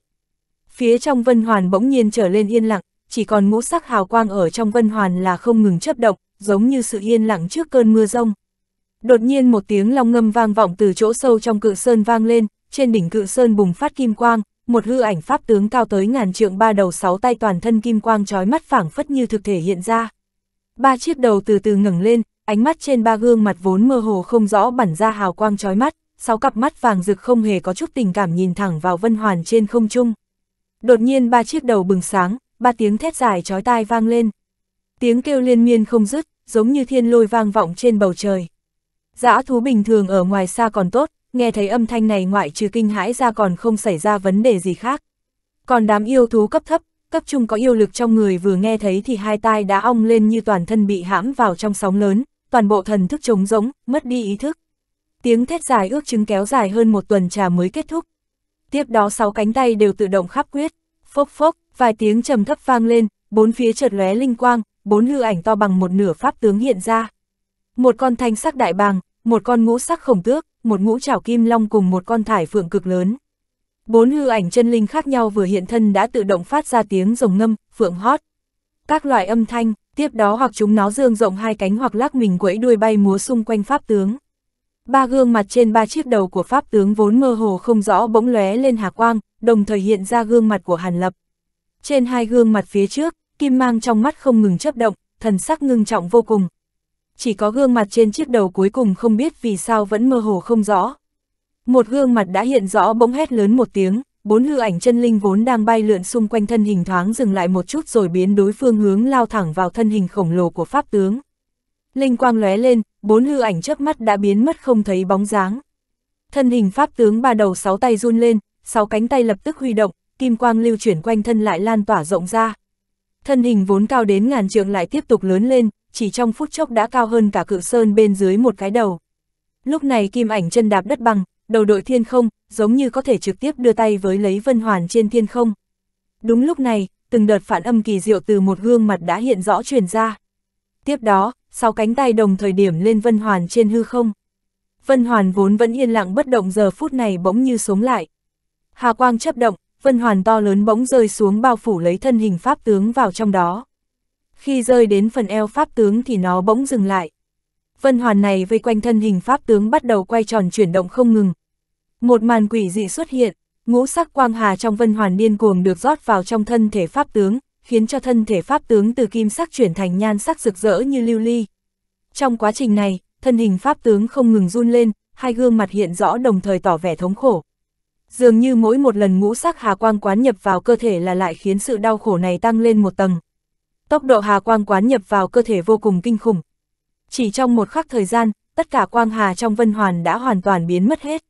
Thậm chí nhũ bạch sắc linh vân ở rìa ngoài dưới tiếng quát chói tai của pháp tướng cũng hóa thành mấy trăm quang cầu nhũ bạch sắc trôi nổi ở khu vực phụ cận. Lúc này, ba chiếc đầu đồng thời há miệng phun ra một cỗ kim sắc hà quang cuốn lấy tất cả quang cầu này hút vào trong bụng. Thực hiện xong hết thảy, vẻ thống khổ trên mặt pháp tướng giảm đi không ít, màu sắc lưu ly bên ngoài thân không ngừng lưu chuyển nhưng hình thể bỗng nhiên thu nhỏ lại. Trong nháy mắt, pháp tướng vốn như núi cao hóa thành một đạo ngũ sắc quang mạc bao phủ lấy thân ảnh bình thường phía dưới. Người này khoanh chân ngồi ở khoảng không phía trên đỉnh núi, hai tay kết quyết, không nói một lời chỉ huyền phù bất động giữa hư không. Linh áp đầy trời cùng thiên tượng kinh nhân cũng đã biến mất hoàn toàn, dường như hết thảy đều đã khôi phục như thường. giã thú phía xa cùng yêu vật cấp thấp, cấp trung mới thoát khỏi trạng thái sợ hãi trở lại bình thường. Dã thú vốn nằm phủ phục dưới đất cũng run rẩy đứng dậy rên nhẹ vài tiếng rồi chạy thẳng về hang ổ của mình, căn bản không dám nhìn về phía cự sơn lấy một lần. Đám yêu thú cấp thấp cũng như được đại xá, liền lập tức khống chế độn quang bay thật xa khỏi nơi này. Thế nào rồi, người kia có tiến giai thành công hay không? Tình hình tiểu thú đầu châu cùng vài tên yêu thú bậc trung cũng đã tốt hơn chút ít. Vừa rồi bọn chúng cũng chỉ miễn cưỡng cố gắng đứng thẳng thân hình mà thôi. Lúc này Kim Viên lo lắng hỏi, không biết, quá trình người kia trùng kích vào linh suất hẳn còn chưa chấm dứt. Thiên tượng kinh người lúc trước chẳng qua là do người này hấp thu thiên địa linh khí phụ cận mà thôi. Hiện giờ mới bước vào thời khắc mấu chốt, tiểu thú đầu châu tựa hồ có kiến thức nhất, ánh mắt thoáng nhìn về đạo ngũ sắc quang ảnh phía cự sơn, chậm rãi nói. Cự mãng ba đầu cùng yêu viên nghe được lời này thì đều cảm thấy bất ngờ, nhịn không được cũng nhìn về phía cự sơn xa xa. Chúng ta đi thôi, thời gian người này phá tan bình cảnh phỏng chừng cũng không ngắn, nhanh thì mấy ngày, chậm thì cả tháng. Chúng ta nếu lưu lại nơi này lâu dễ khiến người ta để ý, ngược lại lộng xảo thành chuyên. Tiểu thú đầu châu tựa hồ nhớ ra điều gì, lập tức nói. Hai con còn lại nghe vậy thì thoáng dùng mình, nhất loạt đồng ý. Tam yêu cùng biến thành một trận yêu phong bay đi, thoáng chốc nơi đây đã không còn thấy bóng dáng bọn chúng. Nhân ảnh trong ngũ sắc quang mạc trên cự sơn phía xa xa vẫn đang nhắm nghiền hai mắt, tựa hồ không hề để ý đến việc này. Một ngày, hai ngày, năm ngày, mười ngày, suốt hai tháng thời gian, nhân ảnh vẫn huyền phù ở khoảng không phía trên đỉnh núi. Chỉ có điều ngũ sắc quang mạc bao quanh càng trở lên chói mắt. Thấy tình hình như vậy khiến mấy tên yêu vật bậc chung mấy lần len lén quay lại đều không khỏi lấy làm kỳ lạ. Đồng thời chúng đều tỏ ra khó hiểu. Chẳng qua trong lúc này, cũng có một chút giã thú ngẫu nhiên quên mất thiên tượng đã xảy ra lúc trước mà xông vào khu vực trăm dặm phía trong cự sơn nhưng lập tức bị bạch vụ cuốn lấy rồi biến mất vô ảnh vô tung. Phụ cận cự sơn không biết từ khi nào đã xuất hiện một siêu đại cấm chế, càng tới gần trung tâm thì uy lực lại càng mạnh. Qua tiếp nửa tháng, nhân ảnh trong quang mạc đột nhiên rung lên, ngũ sắc hà quang bên ngoài cơ thể cũng lưu chuyển.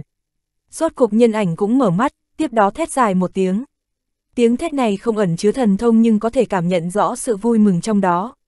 Sau khi kết thúc thét dài, nhân ảnh lập tức đứng lên vung song trường, tức thì ngũ sắc quang mạc xung quanh hóa thành từng điểm linh quang tán loạn tiêu thất.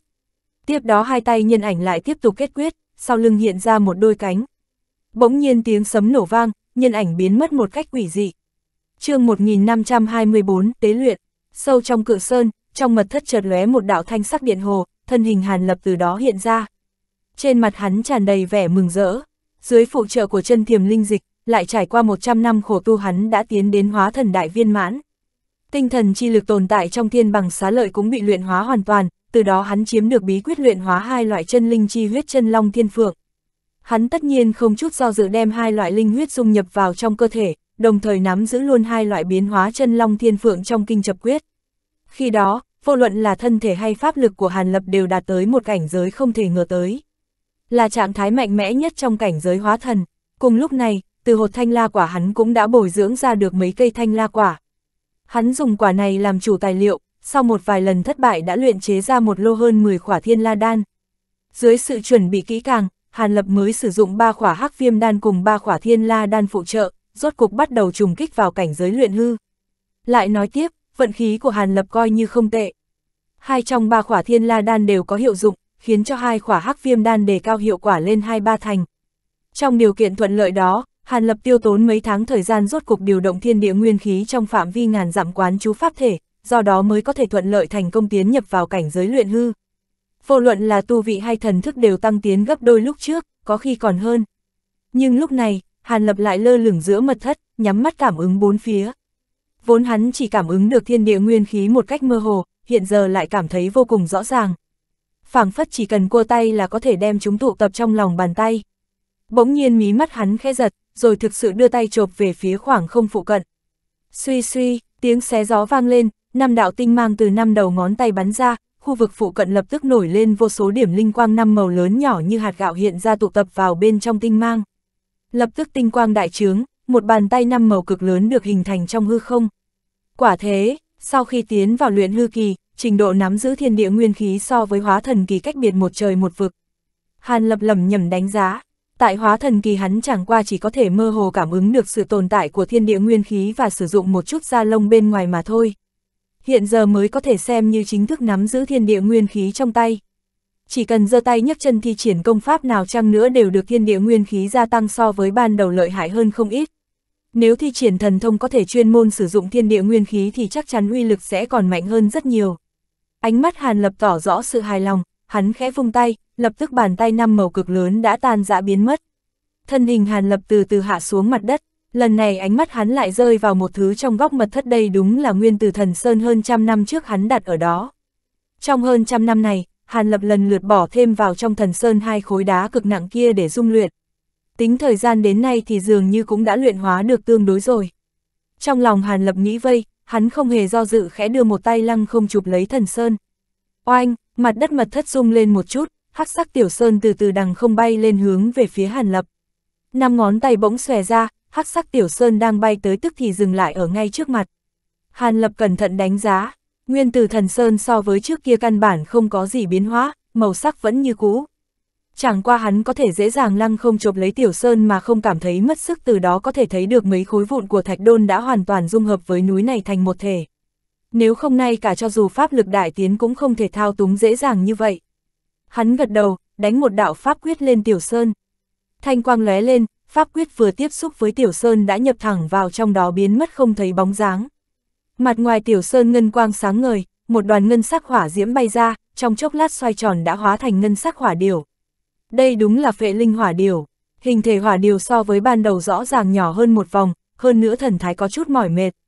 Hiển nhiên hơn trăm năm qua do không ngừng luyện hóa thạch đôn khiến cho hỏa điều hao tổn không ít bổn nguyên chi lực. Hàn Lập thấy vậy có chút đau lòng, trong miệng quát khẽ một tiếng rồi đưa tay về phía hỏa điều. Nhất thời hỏa điều lập tức bắn về phía Hàn Lập, chỉ thoáng lóe lên nó đã tiến thẳng vào bên trong thân thể. Hàn Lập chỉ sợ cần phải bồi dưỡng nó trong người một đoạn thời gian mới có thể khiến hỏa điều một lần nữa khôi phục nguyên khí. Khóe miệng Hàn Lập mỉm cười, lại hướng về phía hắc sắc Tiểu Sơn đánh ra một đạo pháp quyết. Tiểu Sơn khẽ rung lên, chớp mắt đã biến mất trong tầng hôi quang. Ngay sau đó, một cánh tay tối đen như mực của Hàn Lập cuốn lên. Hắc quang chấp động, trong lòng bàn tay lập tức xuất hiện một tòa Tiểu Sơn cao ba tấc, sau đó Tiểu Sơn lại lóe lên rồi biến mất. Cùng lúc đó, trên MU bàn tay lại xuất hiện một đồ án ngân sắc Tiểu Sơn. Vừa rồi, Hàn Lập đã lại đem nguyên từ thần Sơn phong ấn trên tay mình. Nhưng Hàn Lập bỗng biến sắc, cánh tay vốn hơi nâng lên bỗng rơi thẳng xuống dưới, đồng thời thân hình của hắn cũng theo đó mà nghiêng đi, cả người loạn trọng muốn ngã. Không tốt, trong lòng Hàn Lập kêu lên, hai đầu gối hắn vội vàng trùng xuống, đồng thời cánh tay còn lại cũng lập tức đỡ lấy cánh tay này. Toàn thân lắc lư mấy lần, cuối cùng mới có thể trụ vững thân hình.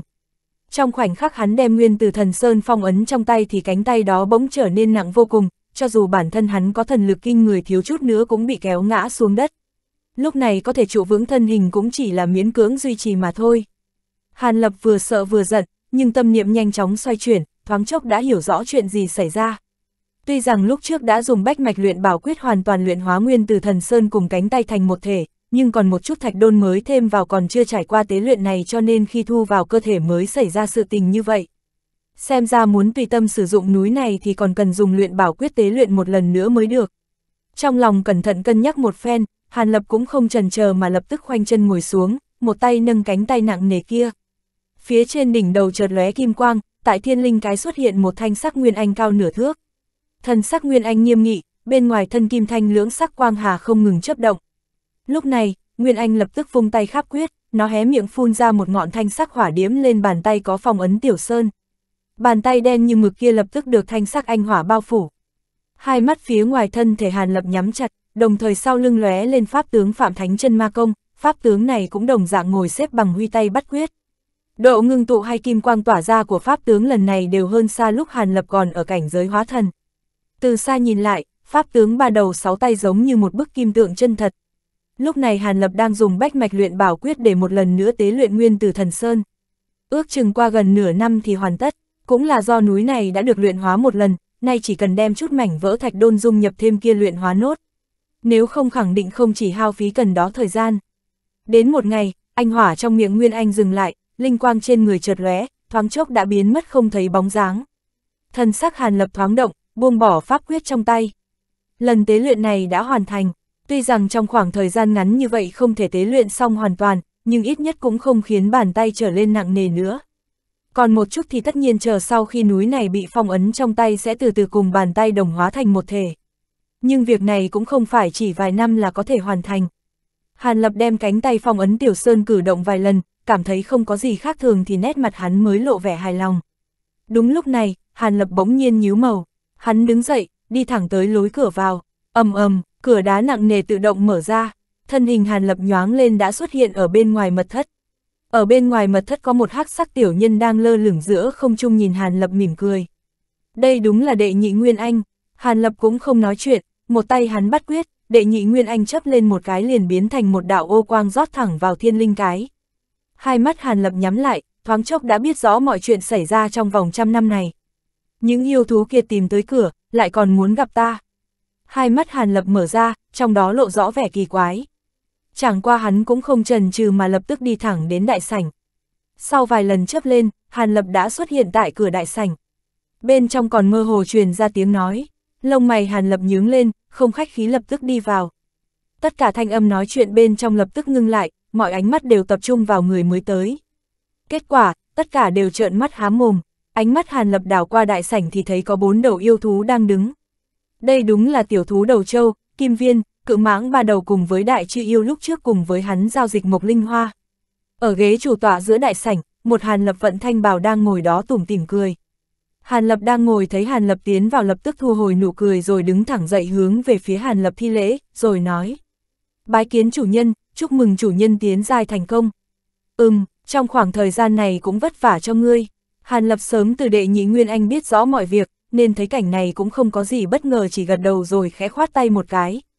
Những chuyện nhỏ nhặt này đều là thứ để hồn phải làm, còn việc trọng đại thì đương nhiên cần chủ nhân tự mình làm chủ mới được. Hàn Lập cung kính trả lời rồi đảo mắt nhìn qua bốn yêu vật vẫn trợn mắt há mồm khẽ nhếch miệng cười. Tiếp đó thân hình Hàn Lập nhoáng lên, đại phóng hắc mang, hóa thành một con tiểu hầu cao nửa thước. Tiểu hầu chạy đến chỗ Hàn Lập, tay áo Hàn Lập khẽ rung lên phóng ra một phiến hà quang thu lấy tiểu hầu. Tốt lắm, hiện tại các ngươi hãy lần nữa nói lại ý định đến đây. Hàn Lập bước thẳng về ghế chủ tọa lúc trước để hồn ngồi, trong mắt lóe lên tinh quang quét thẳng vào tứ thú phía dưới chương 1525, huyết hạnh và nô ngân. Vài ngày trước chúng tôi đã nhìn thấy thiên tượng khi tiền bối tiến giai, cho nên đến đây chúc mừng tiến bối thần thông đại tiến. Tiểu thú đầu châu cuối cùng nhìn cả hai hàn lập một lượt nữa rồi giật mình tỉnh táo lại, vội vàng thi lễ, vẻ mặt vô cùng cung kính. Tất nhiên là nó biết được hàn lập trước mắt đây mới là chính chủ. Ồ, các ngươi sao có thể dám chắc ta thành công tiến giai? Nói không chừng có thể đã thất bại. Hàn lập cười hắc hắc, hỏi tiếp một câu, tiền bối nói đùa rồi, người khác có lẽ sẽ thất bại nhưng với đại thần thông của tiền bối sao có thể xuất hiện việc này. Cự mãng ba đầu đứng giữa lập tức cướp lời, mở miệng nịnh hót. Hàn Lập nghe xong lời này thì cười ha hả, đoạn lại đảo ánh mắt qua tứ yêu, sắc mặt đột nhiên trầm xuống, được rồi. Không cần vòng vo nữa, ta cũng đã nghe qua các ngươi tới lần này là để hiến bảo. Có mục đích gì thì nói ra đi, ta cũng không có nhiều thời gian để lãng phí. Với tu vị hiện giờ của Hàn Lập đã hơn gấp bội so với tu sĩ luyện hư sơ kỳ bình thường, tuy rằng không cố ý để lộ khí thế nhưng lời nói bình thường vẫn có thể ảnh hưởng tới thiên địa nguyên khí khiến không gian quanh đó không ngừng quay cuồng. Tứ yêu cảm thấy không khí gần đấy trở nên nặng nề như có ngàn cân đè lên, thân hình siêu vẹo thiếu chút nữa là ngã xuống. Tiền bối bất giận, chúng tôi quả thực là đến hiến bảo, tuyệt không có ác ý. Tiểu thú đầu châu biến sắc, một mặt cố gắng điều động pháp lực trong cơ thể chống đỡ áp lực, một mặt cuống quýt quỳ xuống phân trần. Vô duyên vô cớ đến hiến bảo, thôi được, trước tiên xem bảo vật các người đem đến là gì, nếu có hứng thú thì ta sẽ nghe các ngươi trình bày, còn nếu một chút tác dụng cũng không có thì các ngươi nên lập tức rời đi. Hàn Lập nhạt giọng nói, tùy theo lời Hàn Lập, áp lực trong đại sảnh lập tức tiêu biến khiến thâm tâm tứ yêu thở phào. Chúng vội vàng đứng thẳng thân mình, tiểu thú đầu châu cũng không dám chần chờ liền ngầm ra hiệu với kim viên bên cạnh. Con viên này do dự một chút rồi từ trong người lấy ra một chiếc hộp gỗ màu đen, tiếp đó tự mình tiến lên vài bước cung kính dùng hai tay dâng lên. Hàn lập một câu cũng không nói chỉ khẽ ngoắc tay, vèo một tiếng, hộp gỗ lập tức được nhiếp tới trong tay. Tiếp đó tay áo hắn khẽ phất qua nắp hộp, thoáng chốc bên ngoài hộp gỗ lóe lên thanh hà rồi tự động mở ra để lộ vật chứa bên trong đây là một loại quả màu đỏ tươi to bằng nắm tay, vỏ quả trải rộng ngân sắc tí võng, hào quang không ngừng lưu chuyển. Hàn Lập có chút kinh ngạc, cũng không cần tứ yêu giải thích mà tự mình dùng hai ngón tay kẹp lấy quả này dơ lên dùng thần niệm quan sát. Trong thoáng chốc sắc mặt Hàn Lập liên tục biến đổi, từ vẻ bất ngờ lúc đầu chuyển thành tò mò rồi lại trao mày, tiếp đó là vẻ trù trừ không quyết. Tứ yêu thấy biểu tình Hàn Lập như vậy thì không khỏi liếc mắt nhìn nhau, nhưng không kẻ nào dám lên tiếng. Ước chừng độ một tuần trà sau, Hàn Lập thở dài một hơi để lại quả kia vào trong hộp.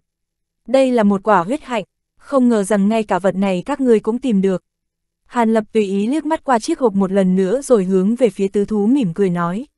Tiền bối tuệ nhãn như đuốc, liếc mắt một cái đã nhìn ra lai lịch của vật ấy. Thứ này bốn người chúng tôi tìm được tại một chỗ thượng cổ di chỉ trong hắc ẩn sơn mạch. Hiện giờ muốn hiến tặng nó cho tiền bối. Tiểu thú đầu châu thấy Hàn Lập nhận ra được lai lịch của huyết hạnh thì thoáng giật mình, nhưng trong miệng vẫn kính cẩn trả lời. Nếu ta nhớ không lầm thì vật này có kỳ hiệu với huyết luyện thể, là linh dược phụ trợ khó có được cho yêu thú các ngươi tiến giai. Có thể nói là kỳ vật ngàn năm khó gặp, các ngươi nếu ngay cả vật này cũng bỏ được, xem ra sự việc các ngươi sắp yêu cầu khẳng định không nhỏ. Được rồi, vật này đối với ta đúng là có chút hữu dụng, các ngươi có yêu cầu gì thì nói ra đi. Hai mắt Hàn Lập nhíu lại, không chút hoang mang nói. Thấy thần thái Hàn Lập như vậy, tứ yêu lại nhìn nhau. Lúc này tiểu thú đầu châu mới ho nhẹ một tiếng, bắt đầu mở miệng. Tiền bối đã nhìn thấu tư tâm thì vãn bối cũng không dám giấu giếm. Bốn người bọn tôi lần này đến đây cũng là vì an nguy của tính mạng. Thân sắc tiểu thú có chút buồn bã, trong lời nói có vài phần ý tứ cầu xin. Vẻ mặt Hàn Lập không chút thay đổi, vẫn yên lặng nghe con thú này nói. Tiểu thú thấy vậy chỉ có thể miễn cưỡng cười gượng, cẩn thận nói tiếp. Chúng tôi cung phụng làm việc cho thiên bằng nhân, điều này hẳn không thể gạt được tiền bối nhưng linh vật trong sơn mạch này ngày càng ít, chỉ sợ qua ngàn năm nữa sẽ không còn gì để cung cấp. Cho nên lần này chúng tôi tới đây là muốn nhờ tiền bối ra tay thảo bỏ nô ngân trên người, giúp chúng tôi khôi phục lại thân thể tự do không phải tiếp tục bị nhốt trên đảo. Chỉ cần tiền bối đáp ứng việc này, mấy người vãn bối chẳng những nguyện ý dâng tặng quả huyết hạnh này mà cũng đem một số vật quý hiếm tìm kiếm được trong nhiều năm dâng tặng coi như để tỏ lòng cảm ơn. Tuy rằng với tu vị thần thông của tiền bối thì những thứ đó không đáng là gì, nhưng chúng tôi có chút thiên thú tầm bảo, hẳn sẽ không làm tiền bối thất vọng. Nô Ngân, thảo nào ta tự hỏi tại sao các ngươi lại không rời khỏi nơi đây, hóa ra là bị thiên bằng tộc hạ cấm chế. Trước tiên để ta xem tình hình một chút đã, thân sắc hàn lập thoáng động, bỗng nhiên chộp về phía hư không. Một mảng kim sắc tinh mang theo lòng trưởng cuốn ra, tiểu thú chưa kịp phản ứng thì đã cảm thấy toàn thân cứng đờ mất đi khống chế, cả người bị một cỗ hấp lực cuốn lấy, tự động bay về phía hàn lập. Con thú này thét lên kinh hãi, thân hình nhỏ bé của nó thoáng chốc đã xuất hiện trước mặt hàn lập, cứ vậy trôi nổi trên không trung không thể nhúc nhích mảy may. Tam thú còn lại hoảng sợ, vội vàng lui lại phía sau, vẻ mặt cảnh giác. Nhưng Hàn Lập cũng không để ý nhìn chằm chằm vào tiểu thú trước mặt. Lam mang trong mắt chớp động không ngừng, thần niệm trong nháy mắt đã bao trùm toàn bộ thân hình tiểu thú, thẩm thấu vào bên trong. Hắn bắt đầu kiểm tra dị dạng bên trong thân thể và tinh hồn đối phương. Cự mãng và kim viên trong tam yêu thấy vậy thì thoáng hiểu ra dụng ý của Hàn Lập, trong lòng mới buông lỏng, lúc này mừng rỡ ngưng cả hô hấp yên lặng quan sát từng động tác của Hàn Lập. Đột nhiên thần sắc Hàn Lập lộ vẻ cổ quái tiếp đó cười khẽ vài tiếng, từ từ nâng song trường. Mười ngón không ngừng điểm lên, tiếng xé gió trong hư không liên tục phát ra. Một sợi thanh thi từ giữa hai ngón tay hắn bắn ra, thoáng lóe lên rồi nhập thẳng vào trong cơ thể tiểu thú. Tiếp đó Hàn Lập khẽ niệm chú, thanh thi vừa thoát khỏi tay đã lập tức đánh tiếp ra mấy đạo pháp quyết. Tiểu thú đầu trâu bỗng giống lên, toàn thân bỗng lóe lên thanh quang chớp động liên hồi. Một trùng ảnh đỏ tươi bị một đoàn thanh ti bao vây, chậm chậm được lôi ra từ giữa chán tiểu thú. Trùng ảnh kia dài độ một tấc, nhìn kỹ thì đây chỉ là một đạo hư ảnh nhàn nhạt mà thôi. Chỉ là trùng ảnh này vừa ra khỏi chán tiểu thú một chút thì thân hình đột nhiên uốn éo. Mặc cho linh quang trên thanh võng không ngừng chấp động, nhưng vẫn không có cách nào khống chế cử động của trùng ảnh mà kéo nó ra. Cùng lúc đó, sắc mặt tiểu thú trở lên vô cùng thống khổ, khóe miệng run run, ngay cả thanh âm cũng không thể phát ra, cuối cùng thì trực tiếp ngất đi. Hàn Lập thấy vậy thì trầm ngâm một chút, đuôi lông mày hắn nhíu lại, ánh lam mang trong mắt lại lóe lên, miệng quát khẽ một tiếng. Phía sau lưng hắn lóe lên thanh sắc quang vựng, một hư ảnh thanh sắc đại bàng hiện ra. Đại bàng vừa hiện thân thì lập tức ngẩng đầu kêu lên một tiếng chói tai. Tam yêu vốn đang nhìn đến xuất thần nghe được tiếng kêu này thì toàn thân run lên, hai chân mềm nhũn lập tức ngã xuống mặt đất. Cũng khó trách tam yêu, côn bằng cường đại đâu phải đám yêu vật cấp thấp sánh được. Đám kim viên kia chẳng qua chỉ là trung gia yêu vật mà thôi, căn bản không thể thừa nhận được uy áp trong khoảng cách gần của thanh bằng. Đúng lúc này, thanh sắc đại bàng dưới sự thôi động của Hàn Lập lập tức cúi đầu, nhanh như chắc mổ thẳng xuống phía chán tiểu thú. Một màn quỷ dị xuất hiện, trùng ảnh màu đỏ tươi vốn không thể lay động lại bị đại bàng mổ lấy rồi trực tiếp nuốt vào trong bụng. Kêu lên lần nữa, hư ảnh đại bàng mới tiêu biến. Đám yêu vật phía dưới lúc này mới lần nữa từ trên mặt đất đứng dậy, nhưng vẻ mặt tất cả nhìn Hàn Lập không giấu khỏi sự sợ hãi khôn cùng. Hàn Lập dường như không hề để ý tới tam yêu mà cẩn thận đánh giá tiểu thú đầu trâu một chút, sau khi vừa lòng gật đầu mới khẽ phất tay. Tức thì thanh ti từ trong cơ thể tiểu thú bắn ra, được Hàn Lập thu lại.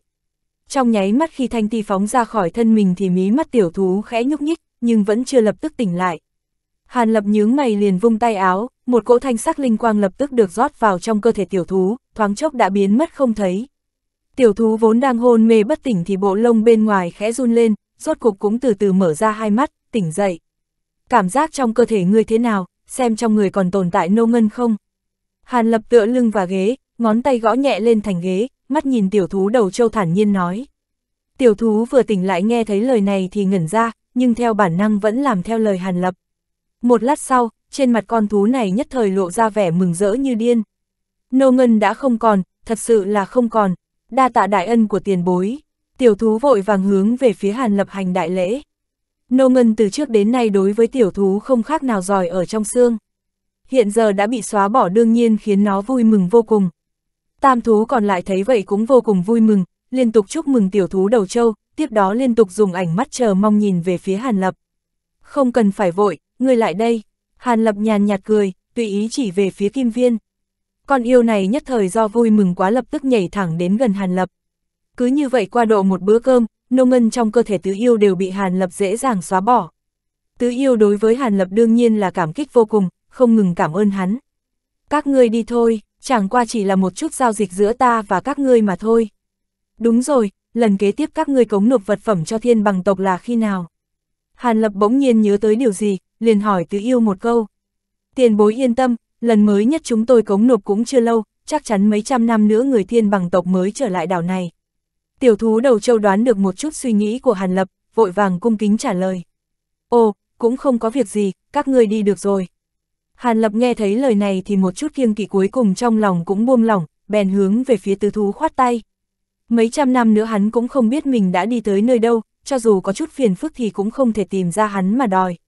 chương 1526, Đằng Long Đan Sau khi tứ yêu cảm kích cáo từ, Hàn Lập ngồi trong đại sảnh một lần nữa lấy quả huyết hạnh ra cẩn thận quan sát. Quả là không uổng công, tài liệu ngưng luyện pháp tướng Phạm Thánh chân Ma đã có thêm một vị, hơn nữa lúc trước ở Thánh Thành Thiên bằng tộc lại tìm được linh dược, hiện tại chỉ cần tìm được viêm kim tinh trong truyền thuyết phối hợp cùng kim tủy tê ân trùng là có thể ngưng luyện thực thể pháp tướng rồi. Hàn Lập thì thào một chút, trên mặt không giấu nổi vẻ sung sướng. Sau khi đem huyết hạnh bỏ lại vào trong hộp, thanh quang lóe lên, hộp trong tay bỗng chốc biến mất. Hàn Lập ngồi trên ghế mục quang không ngừng chấp động, có chút trầm ngâm bước ra ngoài đại sảnh. Một lát sau, hắn đã đi tới dược viên, ở trước mặt hắn đang là 72 cây thanh trúc xanh biếc, mỗi cây đều cao hơn một trượng được một tầng đạm kim sắc hà quang bao phủ. Hàn Lập đứng trước những cây trúc có cấy phi kiếm này nhìn một lát, bỗng nhiên hắn vươn tay nắm lấy một chiếc lá trúc gần đó. Trong lúc ngón tay vừa tiếp xúc lá trúc thì tiếng sét nổ vang, một đạo kim hồ từ thân trúc phóng ra đánh thẳng lên bàn tay Hàn Lập. Xoẹt, bàn tay nháy mắt biến thành đen như mực, kim hồ đánh tới bỗng chốc bị hấp thu biến mất không thấy bóng dáng. Hàn Lập lại coi như không thấy chỉ nhắm mắt lại, dường như đang thông qua ngón tay tiếp xúc với lá trúc cảm ứng điều gì. Một lúc lâu sau, Hàn Lập mới mở mắt buông lá trúc trên tay ra, nhưng lại khẽ nhíu mày. Tuy rằng phương pháp hữu hiệu nhưng quá trình chuyển hóa so với dự đoán ban đầu chậm hơn một chút. Xem ra sau lúc phong ấn vẫn rất tốt, để xem những thứ khác thế nào. Hàn Lập sờ sờ cầm, tự nói một mình, kim quang trên người hắn lóe lên, cả người hóa thành một đạo kim hồng bay ra khỏi dược viên, sau vài lần chớp lên đã biến mất không thấy bóng dáng. Không bao lâu, Hàn Lập đã xuất hiện ở một gian thạch thất khác. Trong phòng này đặt 7-8 chiếc lô đỉnh xếp thành một vòng, phía giữa có một bệ đá lớn, mặt ngoài một đại động hình tròn được bạch ngọc che chắn kín mít. Bạch ngọc này tỏa ra một tầng bạch khí nhàn nhạt vô cùng lạnh lẽo. Đây vốn là một khối huyền băng cực lớn luyện chế thành. Tại giá gỗ kê khắp bốn phía thạch thất có một đống lớn nhỏ bình đựng, trong bình tỏa ra mùi thơm ngát mũi. Đây đúng là luyện đan thất của Hàn Lập, tất cả đống bình này đều là một ít thành phẩm hoặc bán thành phẩm, dược vật phụ trợ. Mặc dù tất cả đều là loại bình thường nhưng cũng không thể thiếu. Hàn Lập không muốn thu chúng vào chữ vật thủ trạc cho nên đều để ở nơi này. Ánh mắt đảo qua đám lô đỉnh kia, thoáng chốc dừng lại tại một chiếc đỉnh xanh ở giữa. Hàn Lập đưa tay về phía bệ đá hư không tung ra một chảo, nhất thời vật đó lập tức bay lên rồi rơi thật mạnh xuống mặt đất phát ra âm thanh cực lớn. Chiếc đỉnh vô cùng nặng, trong lúc nó được nhấc ra thì từ trong đại động bên dưới phụt ra một đoàn lửa đỏ đậm. Nhiệt độ bên trong mật thất thoáng chốc trở nên nóng vô cùng, khó có thể chịu nổi. Hàn Lập không chút do dự phất tay về phía đỉnh xanh, vật này lóe lên một cái đã mơ hồ biến mất tại chỗ, không thấy bóng dáng. Ngay sau đó, đỉnh này lại xuất hiện ở phía trên ngọn lửa đỏ đậm, dưới ánh lửa chập trùng không ngừng xoay tròn. Trong miệng Hàn Lập niệm chú, hai tay bắt quyết đánh ra một đạo pháp quyết về phía đỉnh xanh. Thế lửa thoáng chốc mạnh lên bao trùm cả miệng đỉnh, nuốt trọn nó vào bên trong ngọn lửa. Hàn Lập thấy vậy mới thở ra một hơi, tiếp đó lại lấy từ trong chữ vật thủ chạc ra một chiếc hộp ngọc. Nắp hộp mở ra để lộ một vài quả màu tía căng mọng. Mỗi một quả đều lớn bằng nắm tay, tỏa ra mùi hương mê người. Bên trong quả dường như có ẩn chứa một con tiểu long vô cùng sống động. Đây đúng là chi long quả mà Hàn Lập có được trong hành trình tới một linh tộc. Dùng quả này luyện chế ra đằng long đan rất có công hiệu tăng tiến tu vị đối với tu sĩ từ luyện hư sơ, trung kỳ. Hàn Lập hiện giờ đã tiến dài tới luyện hư kỳ, đương nhiên là đang chuẩn bị bắt đầu luyện chế đan dược này. Chẳng qua linh đan này luyện chế phức tạp, bình sinh Hàn Lập cũng hiếm thấy. Chỉ là một vài loại tài liệu phụ trợ để phối hợp với đan dược này yêu cầu cần một mình luyện chế khiến co hắn tốn mất hơn nửa tháng thời gian. Nhưng cũng may thời gian bồi dưỡng chi long quả cũng rất dài, ước chừng 3 vạn năm mới có quả chín một lần. Mà lúc trước do cấp tốc bồi dưỡng kim lôi trúc và thanh la quả cho nên chưa kịp bồi dưỡng quả này, còn phải đợi mấy năm nữa. Trong lòng cân nhắc như vậy, hắn đem chi long quả thu lại rồi phất tay chộp về phía giá gỗ bên cạnh lấy xuống mười mấy chiếc bình ở đó. Hàn Lập ở trong luyện thất luyện đan hơn nửa tháng rồi lại tiếp tục tiến vào mật thất bắt đầu củng cố tu vị mới đột phá. Đương nhiên trong lúc này hắn cũng bắt đầu nghiên cứu bộ xuân lê kiếm trận. Mà trong khoảng thời gian này đám tứ yêu cũng mang tới một lượng lớn tài liệu quý hiếm tới tận cửa. Tuy rằng mấy thứ này giá trị không nhỏ, nhưng đại đa số không hữu dụng cho hiện nay nhưng Hàn Lập vẫn thản nhiên tiếp nhận tất cả. Tứ yêu đương nhiên không thể phân biệt được đó là Hàn Lập thật hay giả nhưng vẫn luôn miệng cảm tạ chuyện lần trước, không chút tỏ ra bất kính. Dưới sự phối hợp của đề hồn và đệ nhị Nguyên Anh đã điểm nhiên thu lấy những thứ này rồi liền đuổi đám yêu vật này rời đi. Về việc chúng nó có lập tức rời khỏi cự đảo này để thấy trời cao biển rộng hay không thì hắn mặc kệ. Trong những ngày kế tiếp, hết thảy mọi việc đều diễn ra bình thường. Mấy năm thoáng chốc trôi qua, Chi Long quả cũng đã bồi dưỡng thành công. Hàn Lập từ trong mật thất đi ra bắt đầu luyện chế lượng lớn đằng long đan. Kết quả là linh đan này không những quá trình luyện chế vô cùng phức tạp mà xác suất thành đan cũng thấp đến sợ người. Lấy tạo nghệ luyện đan tông sư của hắn mà 10 lần luyện chế lại có đến 7-8 lần thất bại. Hàn Lập trong lòng đã sớm dự trù được đan này không dễ luyện chế nhưng thấy xác suất thành đan thấp đến vậy cũng không khỏi giật mình. Thế mới biết luyện chế đan dược tăng tiến tu vị của tu sĩ luyện hư khó khăn thế nào, còn hơn xa so với lời đồn ban đầu. Trách không được ở hội đấu giá Thiên Uyên Thành chưa bao giờ gặp qua đan dược loại này, chỉ sợ luyện đan sư cho dù luyện chế ra được một chút cũng không đủ để bản thân đột phá bình cảnh, thì sao có thể dễ dàng lấy ra. Về phần trực tiếp dùng đan dược này trực tiếp tu luyện, tuy không nói là không có nhưng chắc chắn là cực kỳ hiếm. Tuy rằng thâm tâm Hàn Lập có chút phiền muộn, chẳng qua có tiểu bình thần bí trong tay hơn nữa các tài liệu phụ trợ khác cũng không phải vật quá quý hiếm nên cũng chỉ mất thêm một chút thời gian mà thôi, không có gì quá lo lắng. Cứ như vậy, trong lúc Hàn Lập luyện đa, bế quan rồi lại luyện đan thời gian cứ từ từ trôi qua. 40 năm sau, trong mất thất Hàn Lập đang ngồi khoanh chân dưới đất, hai tay bắt quyết, toàn thân kim sắc quang vượng không ngừng lưu chuyển chăm chú tu luyện. Nhưng đột nhiên một cảm giác khó chịu toàn thân nổi lên khiến hắn giật mình thu công, lập tức đứng lên. Dường như là có tu sĩ đại thần thông dùng thần niệm đảo qua nơi đây. Chẳng lẽ là, Hàn Lập thất thanh hô lên, ngữ khí kinh ngạc nhưng không dám quả quyết.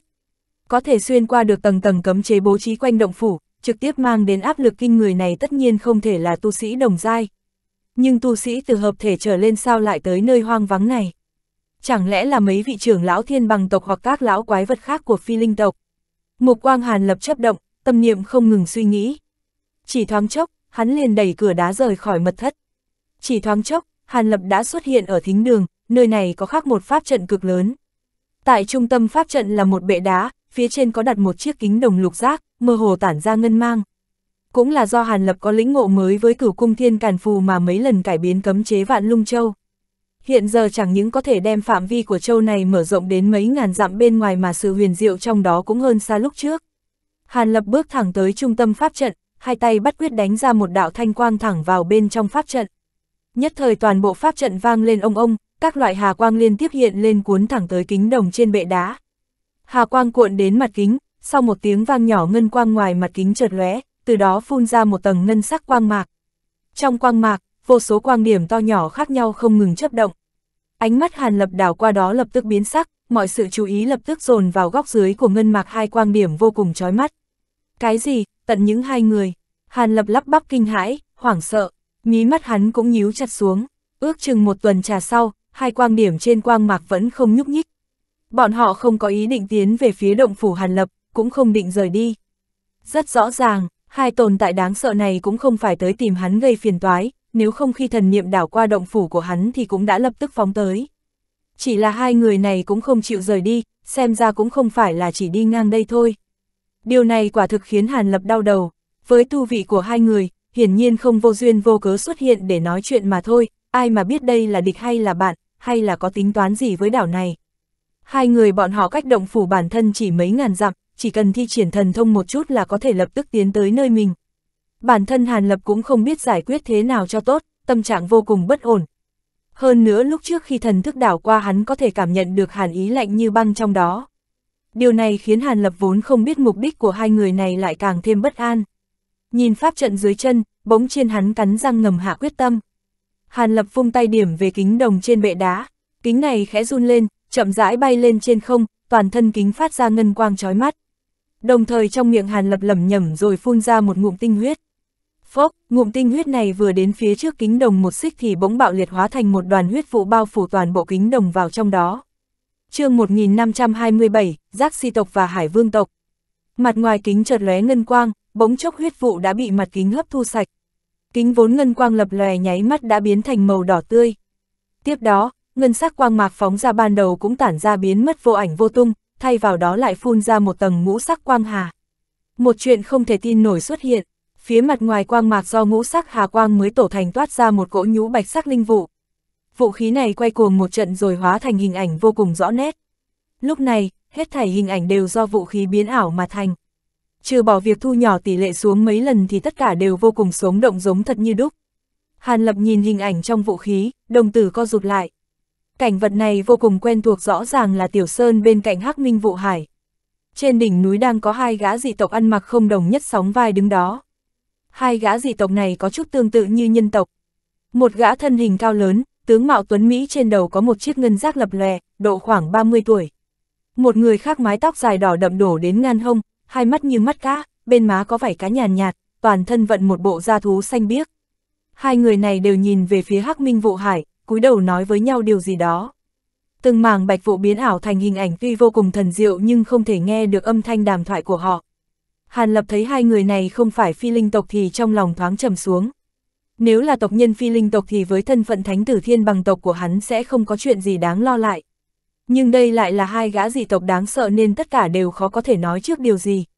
Tất cả những lão quái vật này đều vui giận thất thường, vạn nhất vô duyên vô cớ bị đối phương hạ độc thủ thì chẳng phải chết oan chết uổng. Nhưng nếu lập tức đi khỏi nơi đây tạm thời tránh né sẽ làm kinh động đến họ, liệu họ có nổi giận hay không? Hàn Lập Trần chờ nghĩ ngợi, đúng lúc này, dị biến xuất hiện, thanh niên một sừng vận bạch bào đang đứng nói chuyện bỗng quay đầu nhìn thẳng vào mắt Hàn Lập, hai mắt người này lập tức bộc phát ngân mang chói mắt. Hàn Lập chỉ cảm thấy hai mắt đau buốt, vội vàng thối lui hai bước hoảng hốt nhắm hai mắt lại. Ngay lúc này, hình ảnh vốn vô cùng rõ nét lại trở lên mơ hồ, ngay lúc ngân mang xuất hiện thì lập tức bạo liệt. Phanh, một tiếng hóa thành từng đoàn bạch vụ tán loạn tiêu thất. Hàn Lập kinh ngạc đứng tại chỗ, trong mắt lộ rõ vẻ hoảng sợ. Vừa rồi hắn đã không tiếc hao tổn nguyên khí, mạnh mẽ kích phát một loại thần thông của vạn lung châu, từ đó có thể bằng vào mấy viên châu đặt ở gần đó lặng yên đem cảnh tượng truyền lại, hơn nữa cũng vô cùng bí mật. Nhưng không ngờ tới gã thanh niên một sừng kia lại có thần thức mạnh mẽ đến vậy, chỉ mới nhìn vài lần đã bị đối phương phát hiện rồi thi pháp phá vỡ cấm chế của mình. Hai người này tuyệt đối là tồn tại hợp thể kỳ, thậm chí còn có thể là chung, hậu kỳ. Bây giờ đối phương đã biết mình động tay chân, mình có nên lập tức rời đi không? Hàn Lập trong lòng do dự khó quyết, cũng không phải hắn mong chờ may mắn gì đó mà sợ bản thân tùy tiện hành động ngược lại sẽ mang tới đại họa sát thân. Ngay tại lúc Hàn Lập vô cùng bất an thì tại mấy ngàn dặm bên ngoài, làm mang trong mắt tên dị tộc ngân giác cũng từ từ tán đi.